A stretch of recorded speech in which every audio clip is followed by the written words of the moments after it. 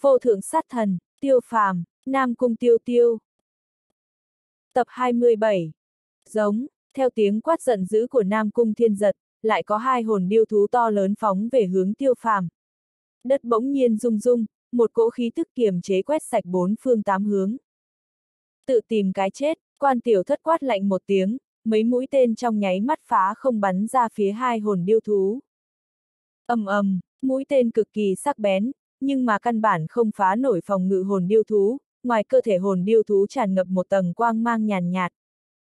Bàn tử, phong lang, thiên tàn, tiểu minh, ảnh phong tất cả đều ngưng trọng, lúc nào cũng chuẩn bị xuất thủ. Nam cung thiên giật, người rốt cuộc chó cùng rứt dậu sao? Đột nhiên, tiêu phàm cười ha ha một tiếng, trong mắt là vẻ khinh thường. Chó cùng rứt dậu, đám người cổ quái nhìn tiêu phàm, tiểu tử ngươi thật đúng là hoàn toàn phách lối như trước đây. Hiện tại Nam Cung Thiên giật chiếm thế thượng phong tuyệt đối, đến Long Tiêu còn chạy trốn, lấy đâu ra cái gì mà chó cùng dứt dậu.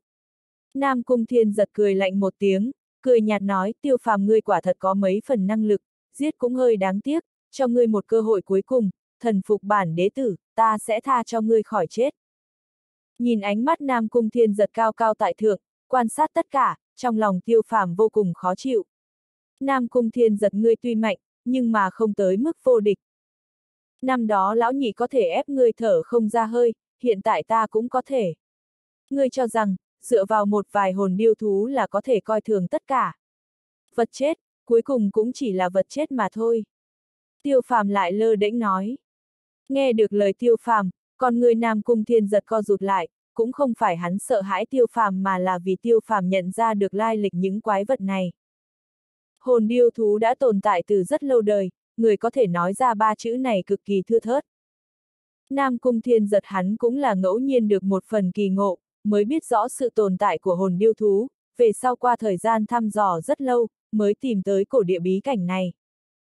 Theo người khác, cổ địa bí cảnh này chỉ là ngẫu nhiên xuất hiện, chỉ có Nam Cung Thiên giật biết rõ, cổ địa bí cảnh xuất hiện, chính là kết quả của việc hắn thêm dầu vào lửa. Bởi vì trong kỳ ngộ mà hắn chiếm được, có quan hệ với ghi chép về cổ địa bí cảnh này, hơn nữa hắn cũng dựa theo phương pháp trong kỳ mà khống chế thành công tất cả hồn điêu thú trong cổ địa. Hồn điêu thú, vẫn luôn là thứ hắn lấy làm kiêu ngạo, không nghĩ tới bị tiêu phàm một câu nói toạc ra. Không phải kinh ngạc như vậy, ta nghe nói bọn sở khinh cuồng lần trước tiến vào một vùng đất cổ xưa, cũng chính là nơi này, bọn hắn không biết là tất cả những thứ này đều là Nam Cung Thiên giật ngươi bố trí. Tiêu phàm vừa cười vừa nói. Con người sở khinh cuồng run lên bần bật, cho dù Ninh Xuyên, Y Phi Mạch cùng Nhược Lưu Thường cũng đều kinh ngạc không thôi, chỉ là thần sắc mỗi người không giống nhau, có người không hiểu, cũng có người nghi hoặc tiêu phàm vì sao lại biết. Lúc ấy mấy người bọn hắn cùng sở dịch phong quả thực tiến vào khu cổ địa này, nhưng mà căn bản không phát hiện có bất kỳ bóng người nào. Hơn nữa mấy người còn chưa kịp thăm dò, liền bị mấy hồn thú cường hoành đẩy lui ra khỏi cổ địa, cũng ngay khi đó sở khinh cuồng liền trúng độc. Không thể không nói, người rất có năng khiếu huyễn tưởng, còn gì nữa. Nam Cung Thiên giật lạnh lùng cười một tiếng, cưỡng ép bản thân bình tĩnh lại, sâu đáy mắt thoáng hiện sát khí. Hắn dường như cũng hứng thú, muốn biết tiêu phàm còn biết bao nhiêu. Sở khinh cuồng trúng độc, tất nhiên có liên quan tới sở dịch phong, nhược lưu thường cùng Ninh Xuyên. Tiêu phàm tiếp tục nói. Im ngay, ngươi dám nói xấu ta. Ninh Xuyên giận dữ, thiếu chút nữa thì không nhịn được xuất thủ. Nhưng mà, tiêu phàm ngay cả nhìn cũng không thèm nhìn Ninh Xuyên, tiếp tục nói, nhưng mà, kẻ cầm đầu là ngươi mới đúng, ta nghe nói thiên bảng 18 người, chỉ có sở khinh cuồng cùng Bắc Thần Phong không để ngươi ở trong mắt, ngươi tất nhiên muốn giết bọn hắn, cho nên liền đổ thêm dầu vào lửa, không biết ta nói có đúng không? Sắc mặt hai người ninh xuyên, nhược lưu thường khó coi vô cùng, tiêu phàm nói đâu chỉ đúng, mà là quá đúng, cơ bản không có thêm bớt cái gì. Xem ra y mẫu cũng bị lợi dụng. Đột nhiên, y phi mạch cười lạnh một tiếng, con người băng lãnh quét qua nam cung thiên giật, ta đã nói, lúc ấy phía sau giống như có ánh mắt nhìn chằm chằm chúng ta, hóa ra là đại đế tử. Sở khinh cuồng sát tâm càng cuồng bạo, thiếu chút nữa thì không nhịn được xuất thủ.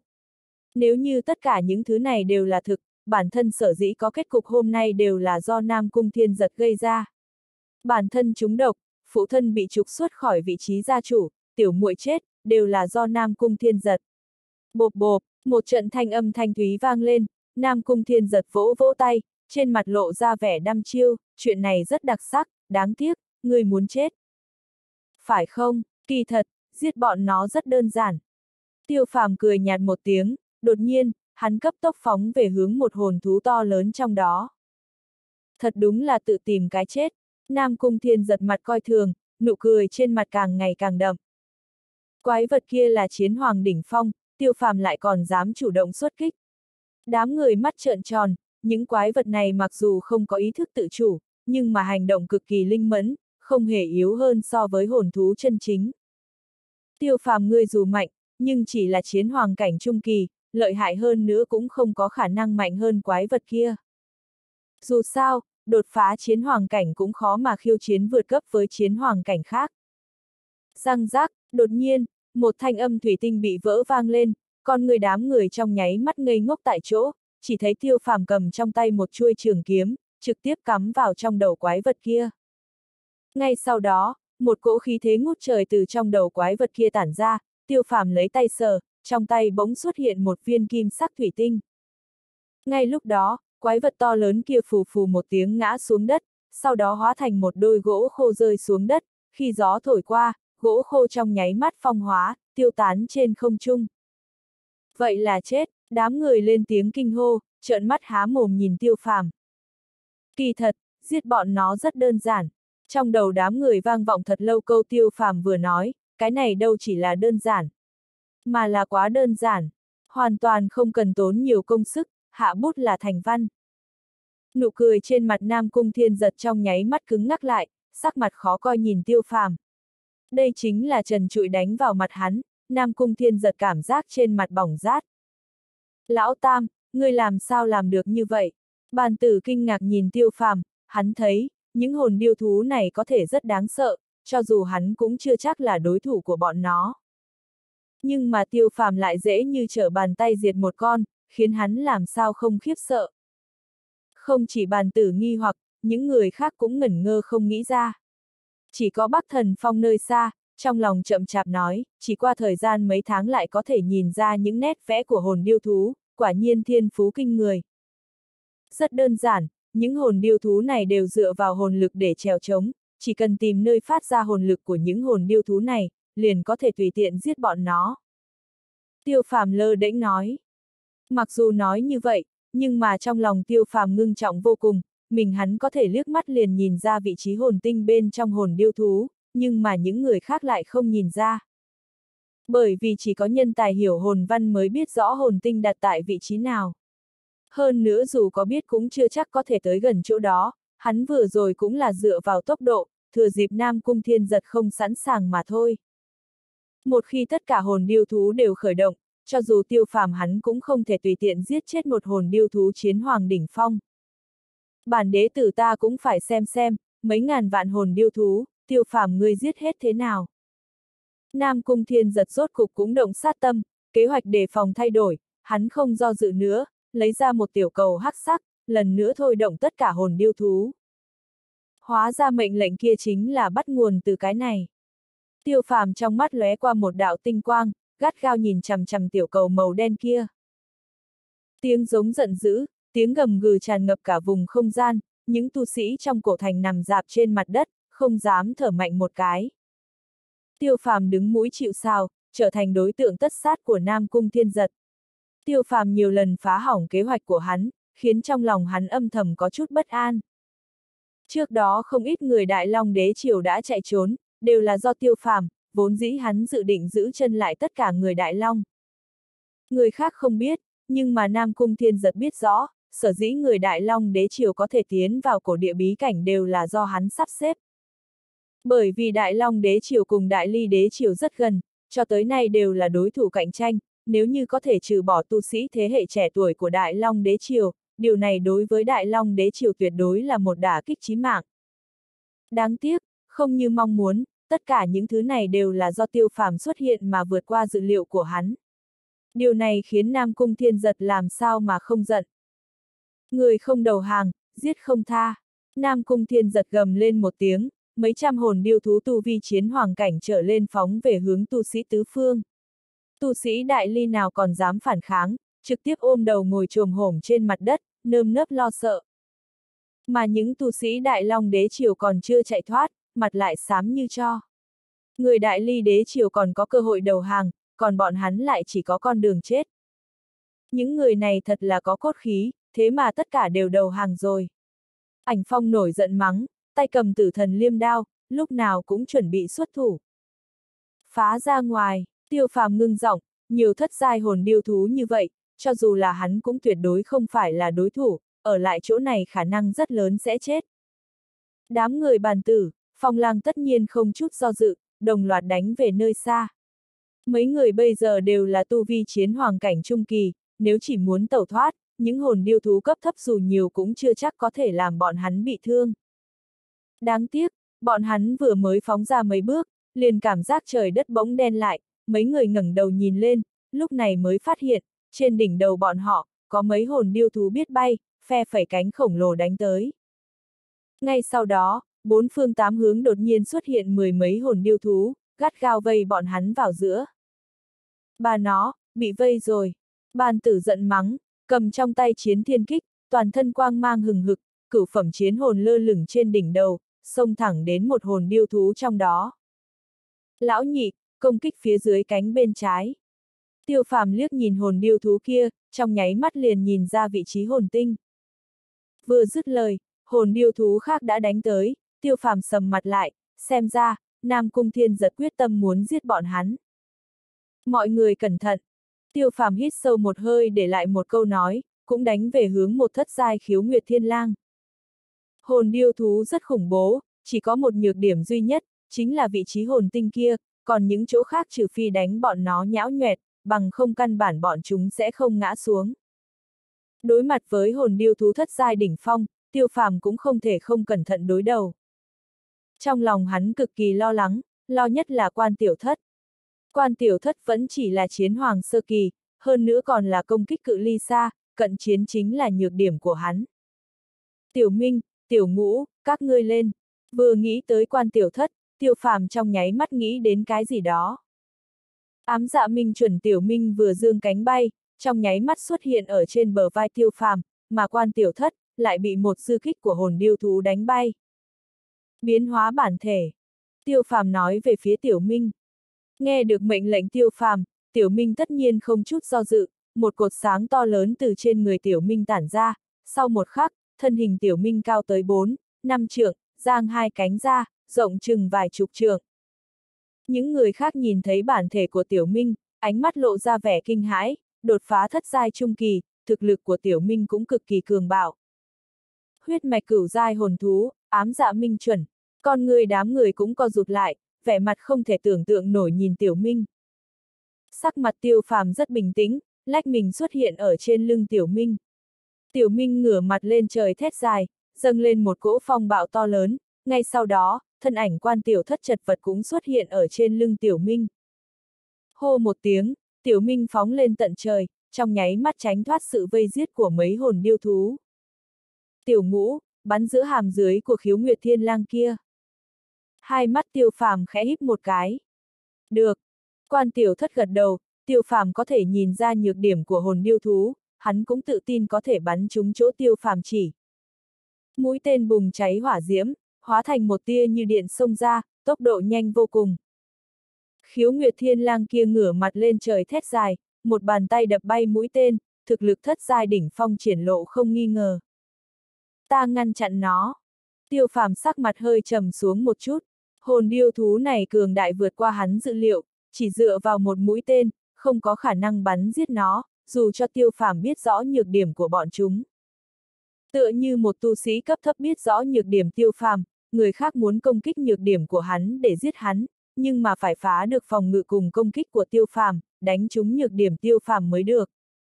Tiêu phàm thả người nhảy vọt xuống, đồ lục đao xuất hiện ở trong tay, chỉ một thoáng, một cỗ đao mang cuồng bạo xuất hiện tại hư không, trực tiếp từ trên cao gắng sức chém xuống. Khiếu Nguyệt Thiên Lang cực kỳ khinh thường, nâng lên một móng vuốt đánh về hướng tiêu phàm. Bang một tiếng, trường đao đánh vào cùng chỗ móng vuốt của khiếu Nguyệt Thiên Lang, dâng lên một trận hồn lực phong bạo. Cùng lúc đó, một mũi tên hỏa diễm từ trên cao giận dữ bắn xuống, trực tiếp chui vào chính giữa hàm dưới của khiếu Nguyệt Thiên Lang, góc độ cực kỳ xảo trá. ầm, um, một đạo quang mang bạch sắc từ chỗ đó rơi xuống, tiêu phàm dương tay vồ một cái, một viên hồn tinh thất giai xuất hiện ở trong tay hắn. Nhìn thất giai hồn tinh trong tay, tiêu phàm cau mày một cái, hồn lực thất giai hồn tinh đã tiêu hao gần một nửa, chẳng lẽ Nam Cung Thiên giật căn bản không biết năng lượng hồn tinh sẽ tiêu hao hầu như không còn. Nghĩ vậy, tiêu phàm lập tức cười, vậy thì, căn bản không cần thiết liều chết cùng những hồn điêu thú này, chỉ cần tiêu hao hết hồn lực trong hồn tinh của bọn chúng là được. Tiểu lang, mau lui lại. Đột nhiên, nơi xa truyền đến thanh âm thiên tàn kêu to một tiếng. Tiêu phàm biến sắc, lại phát hiện, phong lang bị ba con hồn điêu thú thất giai đỉnh phong vây vào giữa, không chung còn có một loài chim hồn điêu thú nhìn chằm chằm. Giờ phút này, bốn hồn điêu thú đồng thời xuất thủ, một cỗ hồn lực đáng sợ lay động, quét sạch giữa trời đất, dù tiêu phàm cách hơn ngàn trượng, cũng cảm nhận được một cỗ áp lực thật lớn. Huống chi cách phong lang rất gần, nếu như bị công kích chúng hẳn phải chết không nghi ngờ. Tiểu Minh, Tiểu Ngũ, nhanh đi cứu Tiểu Lang.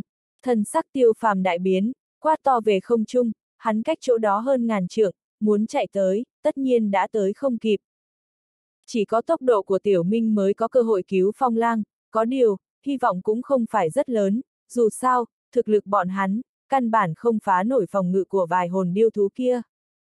Nếu như Phong Lang có chuyện gì ngoài ý muốn, Nam Cung Thiên giật, ta muốn người chết không chỗ chôn thây. Tiêu phàm nghiến răng nghiến lợi, sát ý đáng sợ nở rộ ra. Bên trong cổ thành, Nam Cung Thiên giật hờ hững nhìn tất cả bốn phía, đám người tiêu phàm trở thành đối tượng tất sát của hắn. Mấy người sở khinh cuồng, Bắc Thần Phong, Lâu Ngạo Thiên cũng trong danh sách tất sát của hắn. Phàm là người không thần phục, không đầu hàng, chỉ có chết. Oanh, nơi xa, y phi mạch bị một cỗ đại lực bắn bay, trong miệng phun ra mấy ngụm máu tươi, áo bào rách vụn, chỗ hắn đối mặt là ba con hồn điêu thú thất giai đỉnh phong, có thể kiên trì lâu như vậy đã vô cùng khó. Y phi mạch, còn không đầu hàng sao? Nơi xa, Nam Cung Thiên giật nhàn nhạt mở miệng. Đại đế tử cho ngươi cơ hội, y phi mạch ngươi cũng đừng không biết tốt xấu. Ninh Xuyên cũng cười trên nỗi đau của người khác, lần trước tại quý tộc Yến hội bị y phi mạch vũ nhục, trong lòng hắn sao không ghi hận y phi mạch. Về phần Ninh Xuyên hắn, từ lúc hồn điêu thú bắt đầu công kích liền đã thần phục Nam Cung Thiên Giật. Khụ khụ, hai mắt y phi mạch đỏ bừng, phát ra từng tia vết máu, sắc mặt khó coi vô cùng, cuối cùng vẫn cúi người, chắp tay nói, y phi mạch, bái kiến đại đế tử. Ha ha, được, Nam Cung Thiên giật tựa như căn bản không sợ y phi mạch phản bội, bởi vì cái này đối với hắn mà nói, đã đầy đủ. Tu sĩ cung cấp, chỉ cần cúi đầu trước mặt người khác, về sau muốn vượt qua đối phương, liền cực kỳ gian nan, bởi vì trong lòng hắn đã có một ý thức nói cho hắn biết, bản thân không bằng đối phương. Mà điều này chính là thứ Nam Cung Thiên giật muốn. Đồng thời, việc này cũng là lý do vì sao đám người sở khinh cuồng, Lâu Ngạo Thiên cùng Bắc Thần Phong bất luận như thế nào cũng không đầu hàng.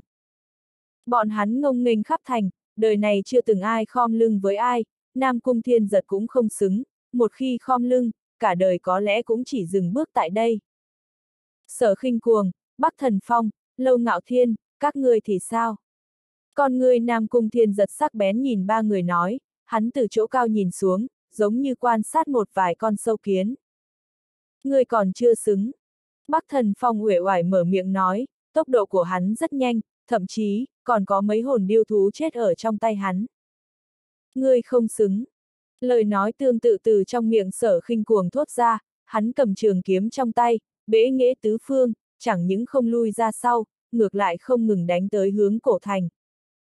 Về phần lâu ngạo thiên thì trầm mặc không nói, nhưng kiếm trong tay hắn đã nói với Nam Cung Thiên Giật, không tiếc chiến một trận.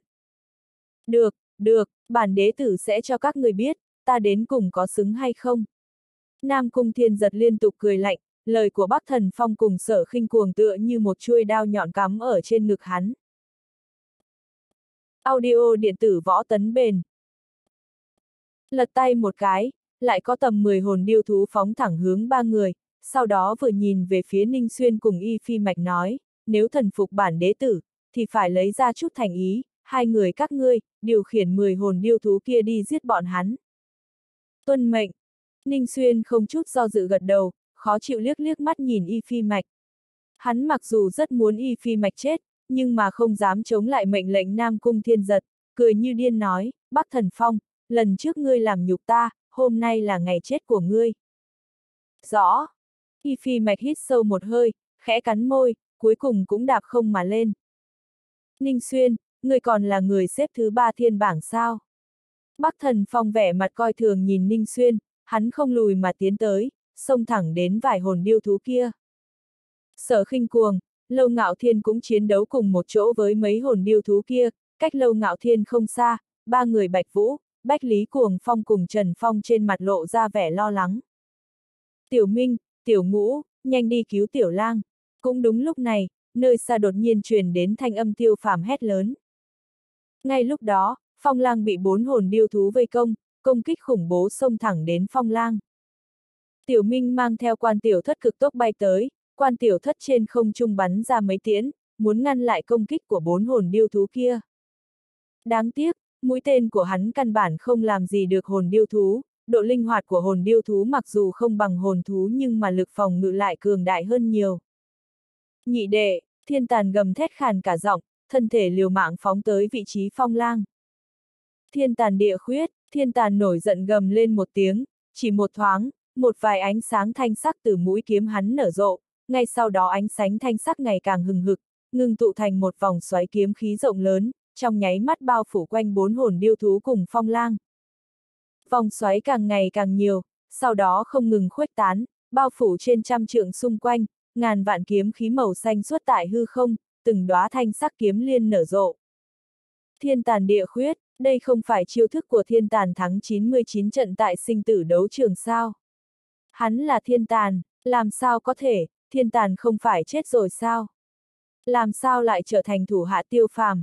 Tuyệt đối là thiên tàn, lúc ấy thiên tàn đối chiến U Linh, thi triển ra chính là một kiếm này. Nơi xa không ít người nhìn thấy một kiếm này, đồng loạt lộ ra vẻ kinh ngạc, thật sự là lúc ấy thiên tàn cùng U Linh chiến một trận quá mức kinh người, rất nhiều người đều nhớ kỹ chiến kỹ của bọn hắn. Chỉ là tin tức này quá mức dọa người, thiên tàn tại sinh tử đấu trường thắng liên tiếp 99 trận, vậy mà không chết, còn xuất hiện ở nơi này. Quả nhiên là hắn. Lâu ngạo thiên híp hai mắt, liếc nhìn tiêu phàm, hắn đã hoàn toàn khẳng định thân phận tiêu phàm. ầm ầm ầm, tiếng kịch liệt nổ vang từ trong vòng xoáy kiếm khí màu xanh kia truyền ra, vô số huyết dịch bay vụt, nhuộm đỏ chân trời, chỉ là lúc những huyết dịch kia rơi trên mặt đất, lại tràn ngập khí tức mục nát.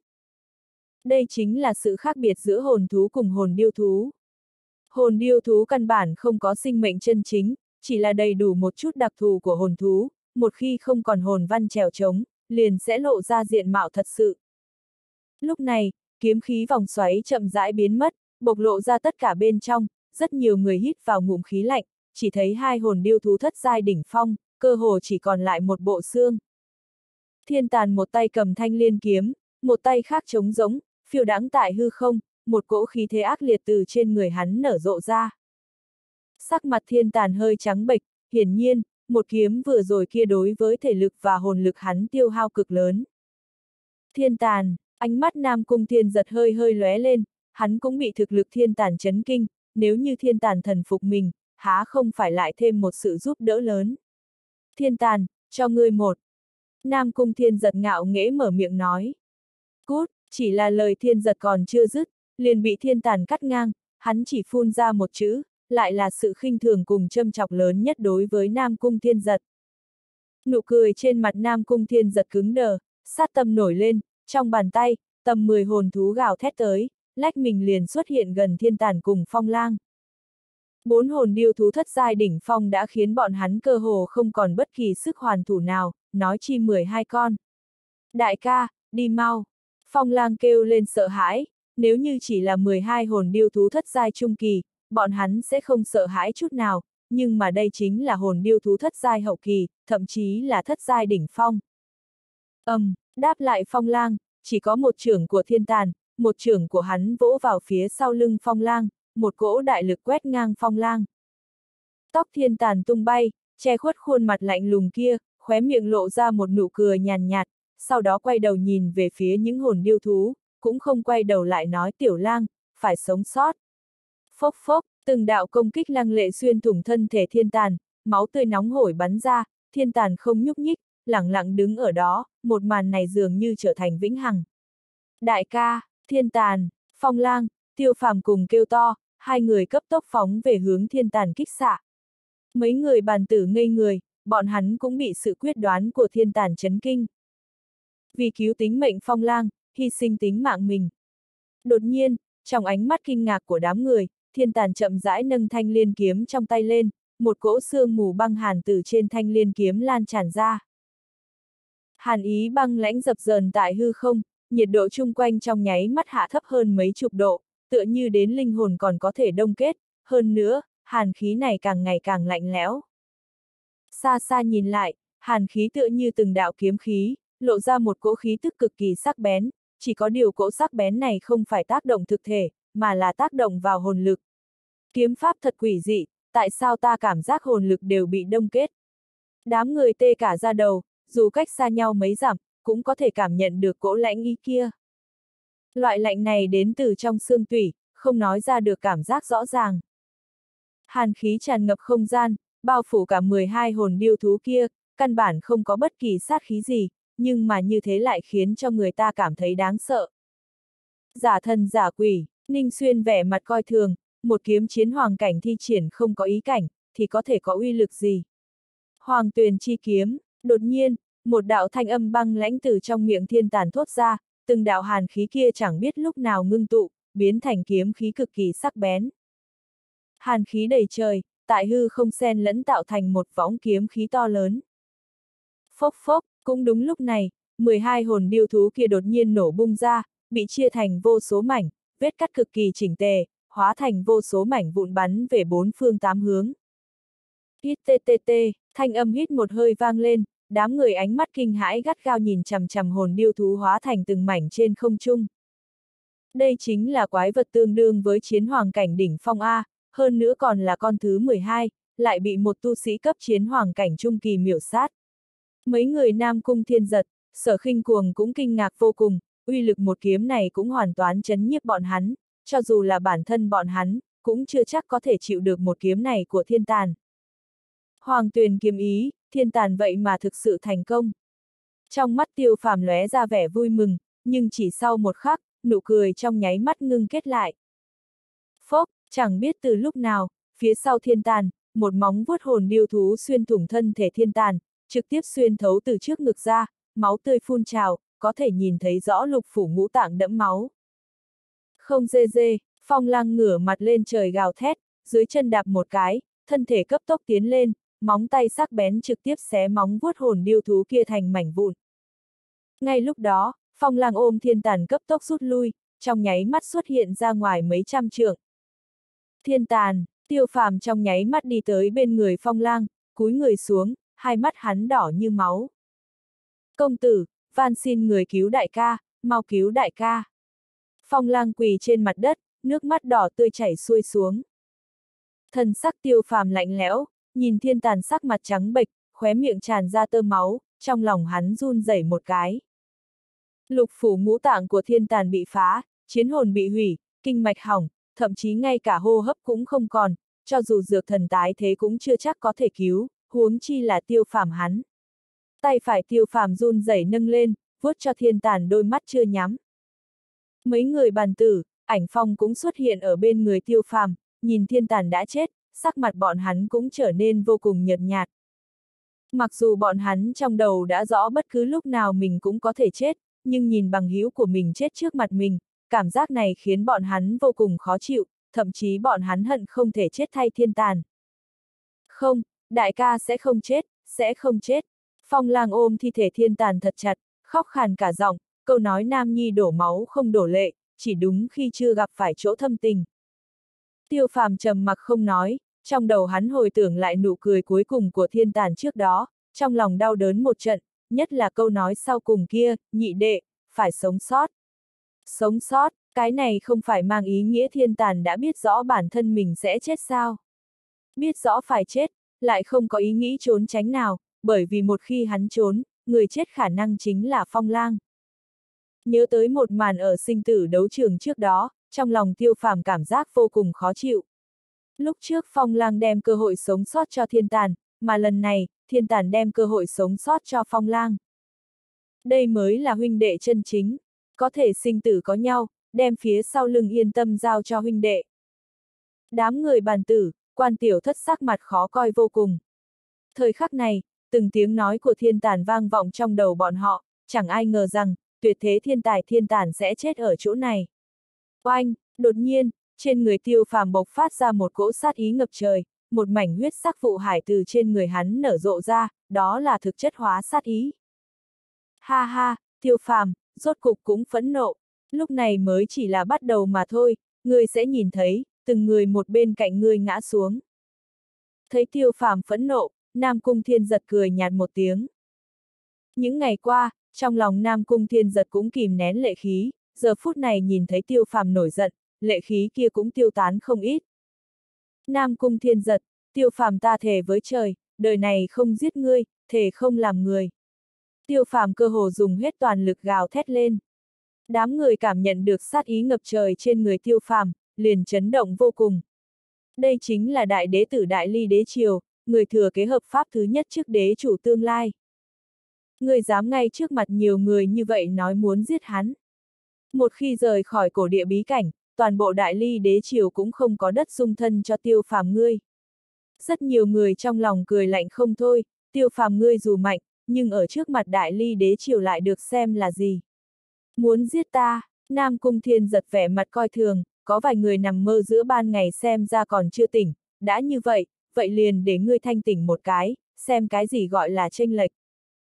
Vừa dứt lời, cả hồn điêu thú trong cổ thành gần như đồng thời động, còn có ba bốn hồn điêu thú thạch đầu tản ra khí tức hung mãnh đánh về hướng bọn tiêu phàm.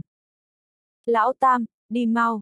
Bàn tử kêu to, mặc dù hắn cũng rất muốn giết Nam Cung Thiên Giật, nhưng mà ở chỗ này, có nhiều hồn điêu thú như vậy, Nam Cung Thiên Giật đã đứng ở thế bất bại. Đi ư, hôm nay ai cũng không được đi. Nam Cung Thiên Giật cười lạnh nói, lão cửu, đừng trách đại ca không cho ngươi cơ hội, nếu ngươi về phía ta, ta có thể không giết ngươi, bằng không. Bằng không như thế nào? Bàn tử lạnh lùng quét ngang. Bằng không, khó tránh khỏi có người bị ngộ thương thì không hay. Nam Cung Thiên Giật lạnh lùng cười một tiếng. Hừ, Nam Cung Thiên Giật, ngươi không phải giả vờ mèo khóc chuột, ngươi không phải một mực muốn giết ta sao? Hôm nay ta cho ngươi một cơ hội giết ta, từ nay về sau, ta, Nam Cung Tiêu Tiêu, thoát ly khỏi gia tộc Nam Cung. Bàn tử quát to, mấy chữ cuối cùng, hắn cơ hồ là gào thét từng chữ nói. Giữa Nam Cung Thiên giật cùng Tiêu Phàm, bàn tử không chút do dự đứng về phía Tiêu Phàm. Lão nhị, ngươi, Tiêu Phàm kinh ngạc nhìn bàn tử, hắn không nghĩ tới bàn tử lại thoát ly khỏi gia tộc Nam Cung, đây chính là đế tộc, không phải tiểu gia tộc bình thường. Ha ha, lão cửu, thật đúng là xem thường ngươi, ngươi có biết rõ quy củ khi tự động thoát ly khỏi gia tộc. Trong lòng Nam Cung Thiên giật có chút kinh dị, có điều rất nhanh liền trở nên lạnh lùng. Quy củ đều do người định, hiện tại ngươi có thể tới giết ta. Bàn tử vẻ mặt coi thường, ở trên đời này, lấy thực lực làm trọng, cái gọi là quy củ lại được xem là gì. Người ở bên ngoài thấy, bàn tử hắn là người gia tộc Nam Cung, nhưng mà người gia tộc Nam Cung thấy, hắn đã bị vứt bỏ, bây giờ chỉ là quân cờ có cũng được mà không có cũng không sao. Hắn ở lại thì có ý nghĩa gì chứ? Nam Cung tiêu tiêu, người đã tự tìm cái chết, ta thành toàn cho ngươi. Nam Cung Thiên giật ngữ khí lạnh lùng, nếu như cũng đã nói ra, trong lòng hắn cũng không kiêng rẻ chút nào. Giết, tiêu phàm gầm thét một tiếng, dẫn đầu sông lên, thiên tàn chết khiến hắn phẫn nộ tới cực điểm. Giống, cũng đúng lúc này, một hồn điêu thú loại dao giữ tợn đáp xuống, khí thế cuồng bá đè xuống khiến người ta không thở nổi. Nói thì chậm, mà diễn ra thì nhanh, tiêu phàm tay trái cầm đồ lục đao, tay phải cầm tu la kiếm chảm ra, một đao một kiếm ngăn trở công kích hồn điêu thú loại dao. Ngăn trở được, đám người kinh hãi không hiểu, đây chính là quái vật tương đương với chiến hoàng đỉnh phong, lại bị tiêu phàm ngăn trở. Không đúng, thực lực quái vật kia đang yếu đi. Sở khinh cuồng cau mày. Đương nhiên sẽ yếu đi, những hồn điêu thú này dựa vào hồn tinh để trèo trống, một khi hồn lực hồn tinh tiêu hao, cũng chỉ còn lại là vài thanh gỗ mục mà thôi. Bắc thần phong tựa như sớm đã đoán được, lập tức âm trầm nhìn Ninh Xuyên đối diện nói, đồ phế vật Ninh Xuyên, có vẻ như ngươi đứng sai đội. Hừ. Ninh Xuyên hừ lạnh một tiếng, lần nữa thẳng hướng Bắc thần phong, có điều trong lòng hắn thì hơi hơi ngưng tụ, bởi vì hắn đã sớm cảm nhận được những hồn điêu thú này đang yếu đi. Chỉ là trong lòng hắn vẫn không chịu thừa nhận mà thôi, hơn nữa hắn thấy dù là những hồn điêu thú này yếu đi, vẫn đủ để hắn giết chết Bắc Thần Phong. Bạch Vũ, ba người các ngươi cố kiên trì. Lâu ngạo thiên vung ra từng kiếm, trên người hắn cũng có nhiều vết thương. Từ lúc tu luyện tới bây giờ còn chưa có bất cứ kẻ nào có thể làm cho hắn thương nặng như vậy, đây này là lần đầu tiên. Nếu như là hồn điêu thú thất giai trung kỳ bình thường, cũng chưa chắc có thể làm gì được hắn, nhưng mà đây đều là quái vật thất giai hậu kỳ, thậm chí có cả thất giai đỉnh phong. Hắn có thể bảo hộ được Bạch Vũ, Bách Lý Cuồng Phong cùng Trần Phong không chết, cũng xem như biến thái, dù sao giết chết một người dễ dàng, bảo hộ một người lại rất khó. Lâu ngạo thiên, người không cần lo cho chúng ta. Bạch Vũ hét lớn, trong mắt mang theo một tia kiên cường, vốn cho là tiến vào cổ địa bí cảnh có thể thu hoạch được chút gì, không nghĩ rằng bị luân lạc tới cấp độ này. Nếu như là trước đó, bọn hắn sẽ không chút do dự mà thần phục, nhưng mà từ sau khi trải qua vài việc với tiêu phàm, bọn hắn cũng lần nữa khôi phục sự hăng hái trong dĩ vãng. Tu sĩ, chỉ có chết đứng, không có sống quỳ. Người tuyết nguyệt ta không sợ chết. Lâu ngạo thiên, mặc dù ta luôn khó chịu danh đệ nhất hoàng thành thập tú của ngươi, ngươi một mực trên ta một hạng, nhưng ta một chút cũng không thua ngươi. Bách Lý Cuồng Phong kêu to một tiếng, đột nhiên phóng về hướng một hồn điêu thú, đao cương lăng lệ nở rộ tại hư không.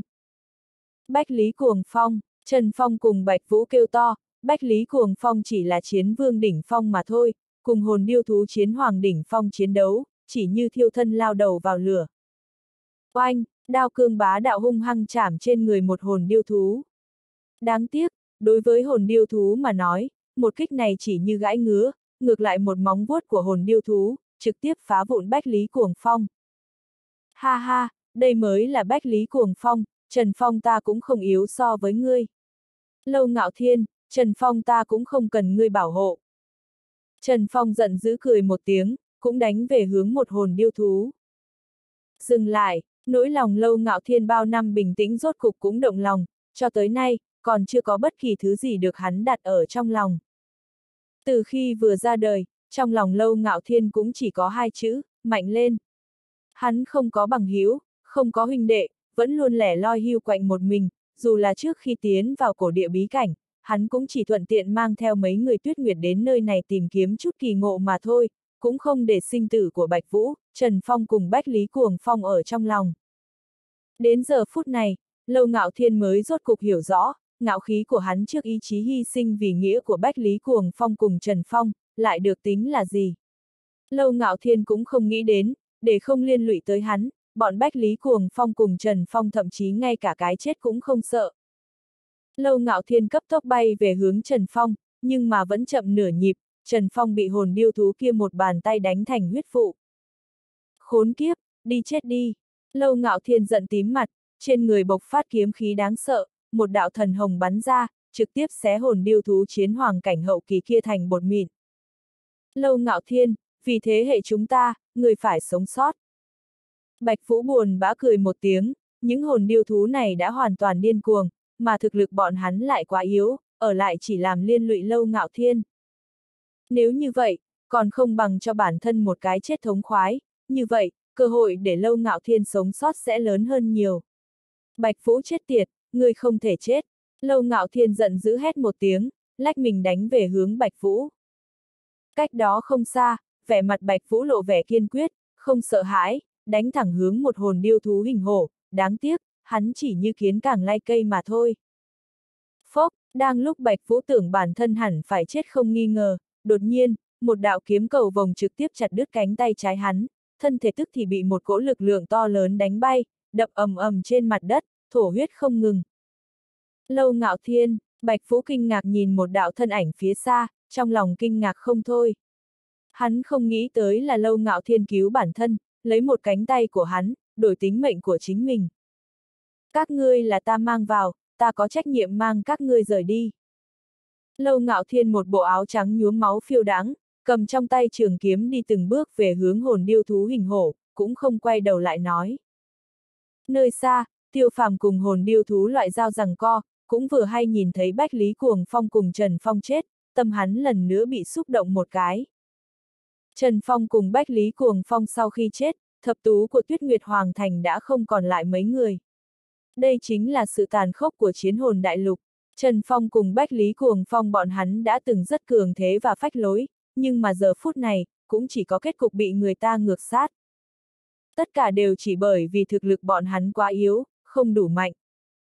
Nếu như bọn hắn có đầy đủ thực lực, cũng không cần như thiêu thân lao đầu vào lửa, ai dám giết mình, mình sẽ giết kẻ đó. Tương tự, nếu như tiêu phàm hắn đủ mạnh, thiên tàn sao phải chết. Chỉ có không ngừng mạnh lên, mạnh lên nữa, mới có thể chân chính nắm giữ vận mệnh chính mình. Mà muốn mạnh lên cũng chỉ có bắt đầu từ giết chóc. Trong lòng tiêu phàm quát ầm lên, một cỗ hủy diệt chi ý đáng sợ từ trên người hắn nở rộ ra. Không giết người, hắn căn bản không có khả năng sống sót, còn chẳng nói tới việc mạnh lên. Giết, tiêu phàm ngửa mặt lên trời gào thét, dùng hết toàn lực phung ra một kiếm, như một giải lụa, trực tiếp phá vỡ thân thể hồn điêu thú loại dao kia, phân hồn điêu thú thành hai mảnh. Thật mạnh, đám người hít một hơi lạnh, tiêu phàm giờ phút này bộc phát khí thế đã không kém gì chiến hoàng đỉnh phong, hồn điêu thú loại dao kia dù sao cũng là thực lực thất giai hậu kỳ trở lên, lại bị một kiếm của hắn chém giết. Áo bào tiêu phàm bay phần phật, tóc dài phiêu đáng, sát phạt chi ý, hủy diệt chi ý đáng sợ từ trên người hắn hiển hiện. Hắn từng bước đi về hướng cổ thành. Giờ phút này, tiêu phàm giống như một sát thần tuyệt thế hạ phàm, không sợ tất cả, trong mắt hắn chỉ có giết chóc. Trên người hắn sát ý vô tận khiến tất cả tu sĩ đều có chút rung động. Sát ý này chỉ có người trải qua vô số máu tươi mới có thể lĩnh ngộ ra, bọn hắn không cách nào tưởng tượng, tiêu phàm đến cùng đã từng giết qua bao nhiêu người. Còn người Nam Cung Thiên giật lạnh lẽo nhìn tiêu phàm, thực lực tiêu phàm cũng vượt qua hắn dự liệu, có điều hắn vẫn không mảy may đặt ở trong lòng. Bản đế tử ở đây, có bản lĩnh thì tới. Nam Cung Thiên giật thản nhiên nói, tựa như cố ý khiêu khích tiêu phàm. Yên tâm, ta sẽ tới xé nát ngươi. Tiêu phàm nhe răng trợn mắt, hung tợn nhìn Nam Cung Thiên giật, trên mặt lộ ra nét cười tàn nhẫn. Tiêu phàm lời nói cuồng vọng vang vọng thật lâu trên không trung, rất nhiều tu sĩ cảm giác nhiệt huyết sôi trào, tựa như người nói ra lời này là bọn hắn. Khí chất cuồng dã, bá đạo được tiêu phàm phát huy ra vô cùng tinh tế. Ta ở đây chờ ngươi. Nam Cung Thiên giật mị mị hai mắt, thần sắc hắn bình tĩnh vô cùng, một cỗ chiến ý lặng lẽ dâng lên. Yên tâm, ngươi sẽ không chờ quá lâu. Tiêu phàm nhe răng cười, hơi nhún chân đạp một cái, cả người như là viên hầu nhảy lên thật cao, hai tay sách ngược tu la kiếm cùng đồ lục đao, xông thẳng đến cổ thành. Giết, bàn tử cầm trong tay chiến thiên kích quét sạch tứ phương, dù là hồn điêu thú thất giai hậu kỳ cũng không phải đối thủ của hắn, một kích đánh xuống, hồn điêu thú thất giai hậu kỳ cũng tan ra thành từng mảnh. Phong lang cẩn thận từng ly từng tí thu hồi thi thể thiên tàn, đi theo phía sau quan tiểu thất, tiểu minh, ảnh phong, bốn người trùng kích về hướng cổ thành. Một phía khác, ba người sở khinh cuồng, Bắc Thần Phong cùng Lâu Ngạo Thiên cũng không chút do dự xông lên, trong lòng bọn hắn, cho tới bây giờ không có hai chữ chạy trốn. Nếu như lần này trốn, về sau tâm bọn hắn chắc chắn sẽ bất ổn, muốn đột phá càng thêm gian nan, dù sao lĩnh ngộ ý cảnh, tiếp theo sẽ là tâm cảnh. Ba người tuy mạnh, nhưng Ninh Xuyên, Y Phi Mạch cùng Nhược Lưu Thường phía đối diện cũng không yếu, huống chi, Ninh Xuyên bên cạnh bọn họ còn có không ít hồn điêu thú. Cút ra, sở khinh cuồng lạnh lùng nhìn Nhược Lưu Thường phía đối diện, đây là nữ nhân hắn đã từng yêu nhất, hơn nữa Nhược Lưu Thường thật sự xin lỗi hắn nhiều lần, sở khinh cuồng vẫn có chút không nỡ xuống tay. khinh cuồng, người đi mau. Thần sắc Nhược Lưu Thường khẽ nhúc nhích, sắc mặt vô cùng phức tạp, khẽ thốt thành tiếng, thủ đoạn của Nam Cung Thiên Giật sẽ không đơn giản như thế. Không cần ngươi quan tâm. Sở khinh cuồng quét mắt nhìn Nam Cung Thiên Giật, Nam Cung Thiên Giật nhàn nhạt nhìn tu sĩ bốn phía chiến đấu, sắc mặt bình tĩnh lạ thường. Lần trước ta thật xin lỗi ngươi, nhưng lần này, ngươi phải nghe ta. Nhược lưu thường hít sâu một hơi nói, trong mắt nhòe nước mắt. Chính là bởi vì nghe ngươi, ta mới có ngày hôm nay, thế nào, hiện tại lại muốn liên thủ Nam Cung Thiên giật ứng phó với ta. Sở khinh cuồng lạnh lùng cười một tiếng, từ sau lần trước, tâm hắn đã chết. Hô, sở khinh cuồng không còn cho nhược lưu thường cơ hội nói chuyện, trực tiếp xuất thủ. Nơi xa, một mình tiêu phàm như vào chỗ không người, cấp tốc xuyên qua một đám hồn điêu thú, hồn điêu thú thất giai đỉnh phong nếu không thể địch lại, hắn không ngang cố đánh. Về phần hồn điêu thú dưới thất giai hậu kỳ, tiêu phàm trực tiếp một kiếm chém giết. Hủy diệt kiếm ý của hắn cũng ngày càng bá đạo, không ngừng phát sinh biến đổi, đã chạm đến ngưỡng cửa nhị trọng ý cảnh. Âm, um, không kịp đề phòng, tiêu phàm bị một cỗ đại lực đánh bay, một hồn điêu thú tử ngọc mãng thất giai đỉnh phong dùng cái đuôi đánh trúng tiêu phàm, nếu như không phải dùng đồ lục đao ngăn cản, có lẽ tiêu phàm đã bị đánh thành thịt nát. Không thể không thừa nhận, hồn điêu thú sinh động như thật, không chỉ diện mạo, ngay cả công kích cũng giống hồn thú như đúc. Thậm chí, trong lòng tiêu phàm còn đang phỏng đoán, nơi này nếu có nhiều thất giai hồn điêu thú như vậy, vậy có phải có cả bát giai hồn điêu thú? Nam Cung Thiên giật tự tin như vậy, có lẽ thật sự có bát giai hồn điêu thú. Thần sắc tiêu phàm cứng lại, mặc dù sát ý của hắn bành trướng, nhưng tâm hắn lại ngày càng rõ ràng. Nam Cung Thiên giật quá mức âm hiểm, tiêu phàm không thể không đề phòng hắn. Tiêu phàm thu liếm tâm thần, lần nữa nhìn về phía gần hồn điêu thú tử Ngọc Mãng, trong não tiêu phàm có một đám suy nghĩ lóe qua, trầm ngâm nói, tiếp tục như thế cũng không phải biện pháp, hồn lực hồn điêu thú mặc dù đang không ngừng tiêu hao, nhưng quá trình này quá chậm, muốn đợi hồn lực bọn chúng hoàn toàn tiêu hao, không biết là đến thời gian nào, đến lúc đó đoán chừng mình cũng bị tiêu hao như vậy. Không thể không nói, Nam Cung Thiên Giật thực sự là một người tâm tư kín đáo, cơ hồ mỗi bước hắn đều tính tới, dù bọn tiêu phàm có thể giết chết hồn điêu thú, hồn lực bản thân khẳng định cũng tiêu hao hầu như không còn. Đến lúc đó Nam Cung Thiên giật lại xuất thủ, mấy người có thể là đối thủ của hắn. Tiêu hao hồn lực, đột nhiên, ánh mắt tiêu phàm sáng lên, trong nháy mắt nhớ tới cái gì. Sau một khắc, tiêu phàm lắc mình một cái, liền xuất hiện ở trên đuôi tử ngọc mãng, chân hắn dẫm lưu quang trích tinh bộ nhanh chóng xuyên qua trên lưng tử ngọc mãng, rất nhanh liền xuất hiện ở đỉnh đầu nó, tay vung một trường đánh về đầu tử ngọc mãng. Tiêu phàm làm cái gì vậy? Chẳng lẽ hắn nghĩ một trường có thể phá vỡ phòng ngự của quái vật này? Đám người khịt mũi coi thường, bộ dáng xem kịch vui. Bọn hắn đã đầu hàng, nguyện ý thần phục Nam Cung Thiên Giật, giờ phút này cũng không có bất kỳ nguy hiểm nào tới sinh mạng, chậm chậm dung nhập nhân vật quần chúng. ầm, um, đột nhiên, tất cả mọi người trợn tròn mắt, hồn điêu thú tử ngọc mãng kia đột nhiên uể oải, thân thể nhanh chóng phong hóa, chỉ còn một mùi hôi thối mà mục nát tràn ngập không trung. Chuyện gì xảy ra, đám người trợn mắt hốc mồm, miệng chữ O đủ để nhét quả trứng vịt. Đây là thủ đoạn gì? Ánh mắt bác thần phong ngưng tụ, hắn biết tiêu phàm miễn cưỡng có thể xem như một hồn điêu sư, nhưng mà cũng không có khả năng một kích miểu sát hồn điêu thú thất giai đỉnh phong chứ. Chỉ có tiêu phàm cảm thấy trong lòng vô cùng kích động, đồng thời có chút ảo não. Nếu như sớm phát hiện phệ hồn huyết tàm có thể hấp thụ hồn lực hồn điêu thú thì hay rồi, như thế thiên tản sẽ không. Tiêu phàm cảm giác trong lòng đau nhói. Có điều vẻn vẹn trong nháy mắt, con người tiêu phàm lại trở nên kiên nghị vô cùng, thiên tàn đã chết, ta muốn báo thù cho hắn, hơn nữa còn nhiều người sống sót như vậy, càng cần ta bảo hộ. Nghĩ vậy, tiêu phàm không chút do dự đánh về hướng một hồn điêu thú khác, trong lòng bàn tay hắn, một đạo quang mang huyết sắc nhấp nháy, mặc dù hắn không phải đối thủ của những hồn điêu thú đó. Nhưng chỉ cần chạm đến thân thể hồn điêu thú, phệ hồn huyết tàm liền có thể trực tiếp tìm tới vị trí hồn tinh, trực tiếp hấp thụ hồn lực bên trong hồn tinh. Hồn điêu thú dù sao cũng không phải người, không có ý thức tự chủ, tất nhiên cũng không thể giống sự vô pháp, tự chặt một tay để bảo toàn tính mệnh. Một con, hai con, mười con, hai mươi con. Sau nửa canh giờ, tiêu phàm chém giết chừng 100 hồn điêu thú, mỗi lần đều là tùy tiện xuất một trường, liền đánh chết một con hồn điêu thú, người ngoài nhìn thấy thủ đoạn này quả thực là cực kỳ quỷ dị. Đám người sớm đã mắt trợn tròn, cái này thật quá dọa người. Không phải là Nam Cung Thiên giật cùng tiêu phàm phối hợp, cố ý diễn một tuồng kịch chứ. Có người âm thầm mở miệng, thanh âm không lớn, nhưng lại có không ít người nghe được. Phối hợp, diễn kịch, Nam Cung Thiên giật có loại xúc động muốn chửi, cái này đâu phải bọn hắn đang phối hợp diễn kịch, hắn hận không thể lập tức băm vằm tiêu phàm. Chỉ là, Nam Cung Thiên Giật cũng hãi hùng khiếp vía, đây chính là trên trăm hồn điêu thú thực lực thất giai hậu kỳ trở lên, lại bị một mình tiêu phàm chém giết, thật quá cường đại. Nhưng từng người ở đây, không một ai biết rõ tiêu phàm chém giết những hồn điêu thú đó thế nào. Ngoài cái này ra, ai biết hắn còn có thủ đoạn gì nữa. Chẳng biết tại sao, trong lòng Nam Cung Thiên Giật lần đầu tiên sinh ra vẻ sợ hãi đối với thực lực tiêu phàm, cho dù là hắn cũng không có khả năng dễ như trở bàn tay diệt sát nhiều hồn điêu thú như vậy.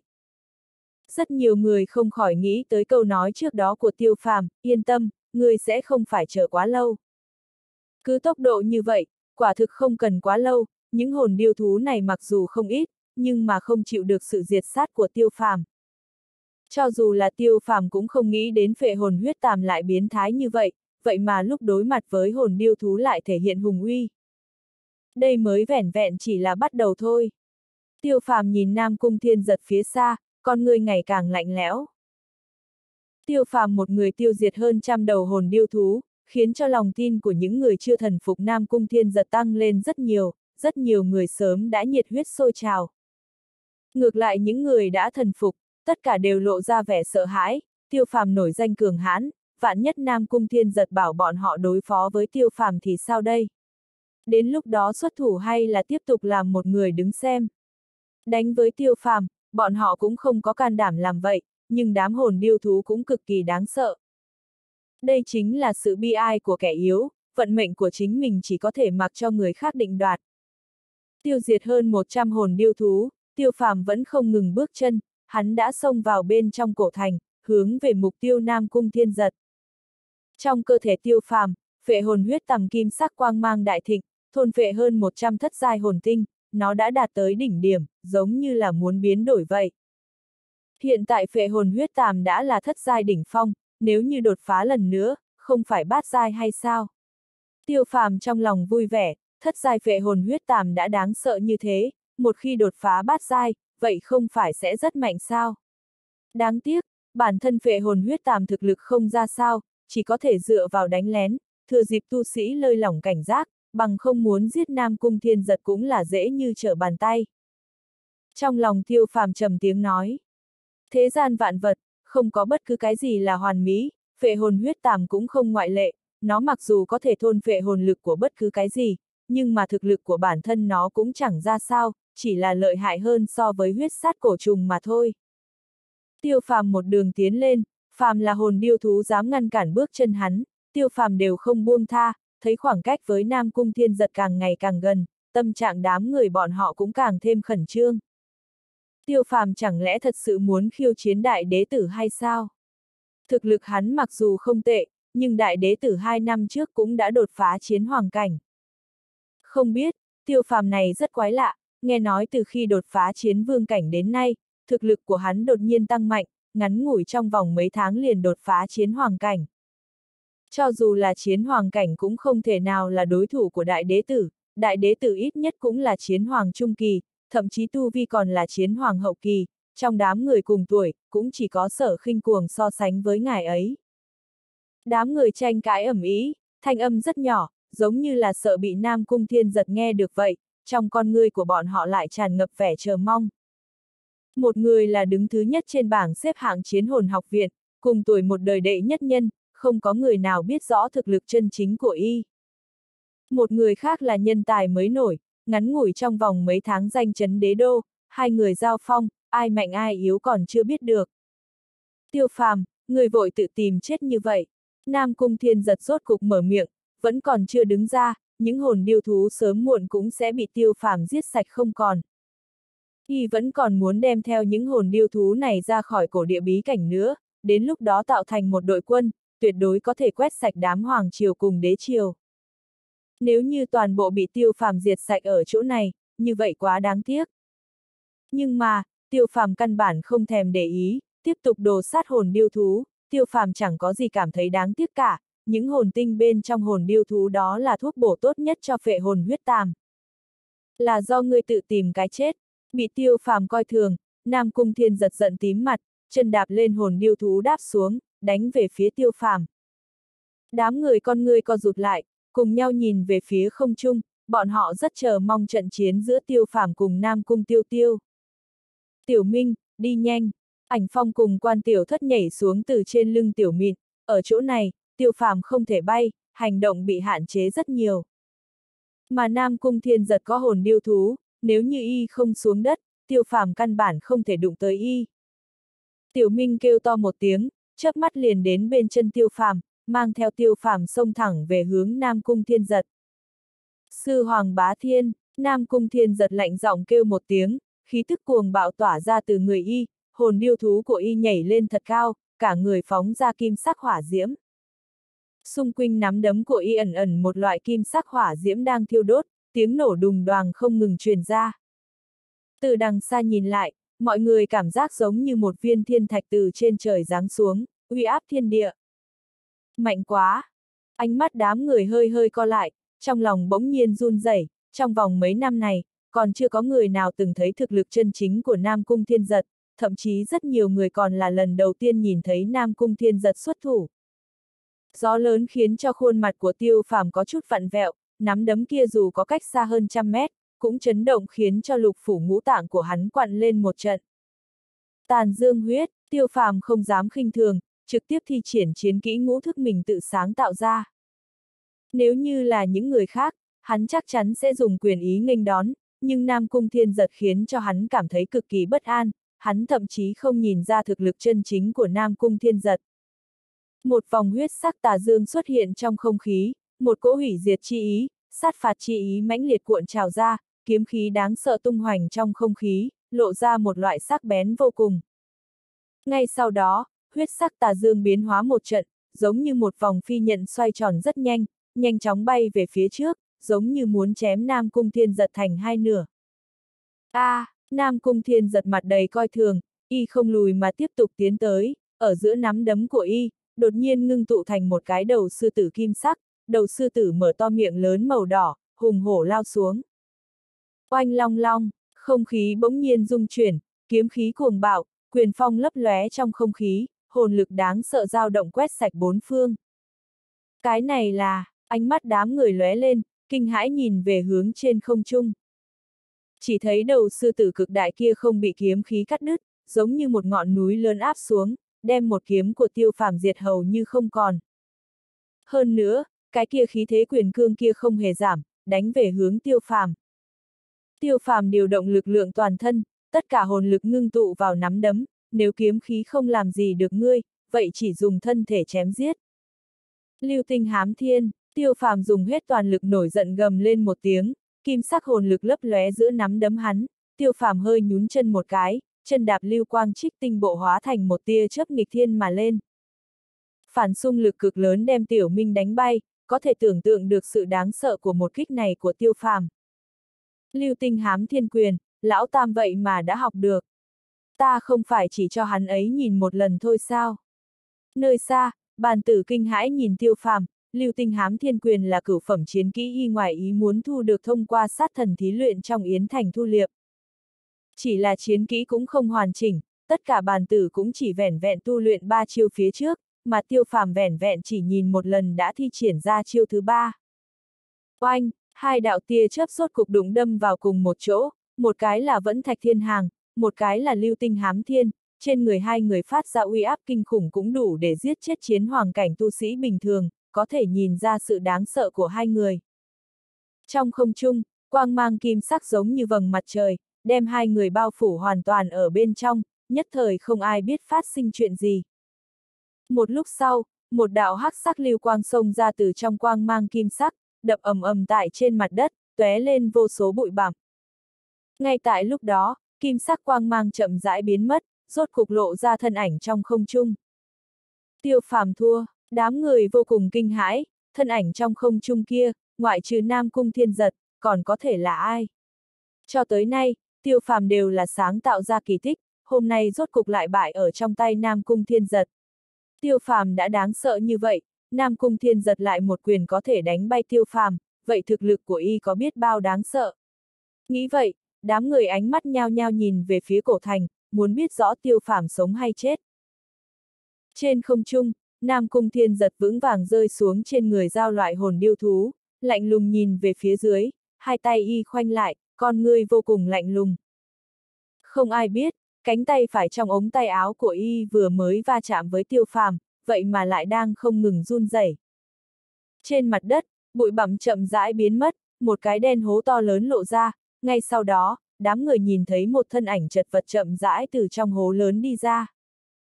Y phục của tiêu phàm bị phá nát không ít, bay phấp phới, khóe miệng còn tràn ra một tia máu tươi, nhưng mà con người hắn lại vô cùng thanh minh, chiến ý tăng vọt. Tiêu phàm, thực lực ngươi vẫn lấy làm kiêu ngạo cũng chẳng qua chỉ được như vậy, xem ra ngươi hôm nay, không thể nào lại tạo ra kỳ tích. Nam Cung Thiên giật giọng nói khinh thường vang lên.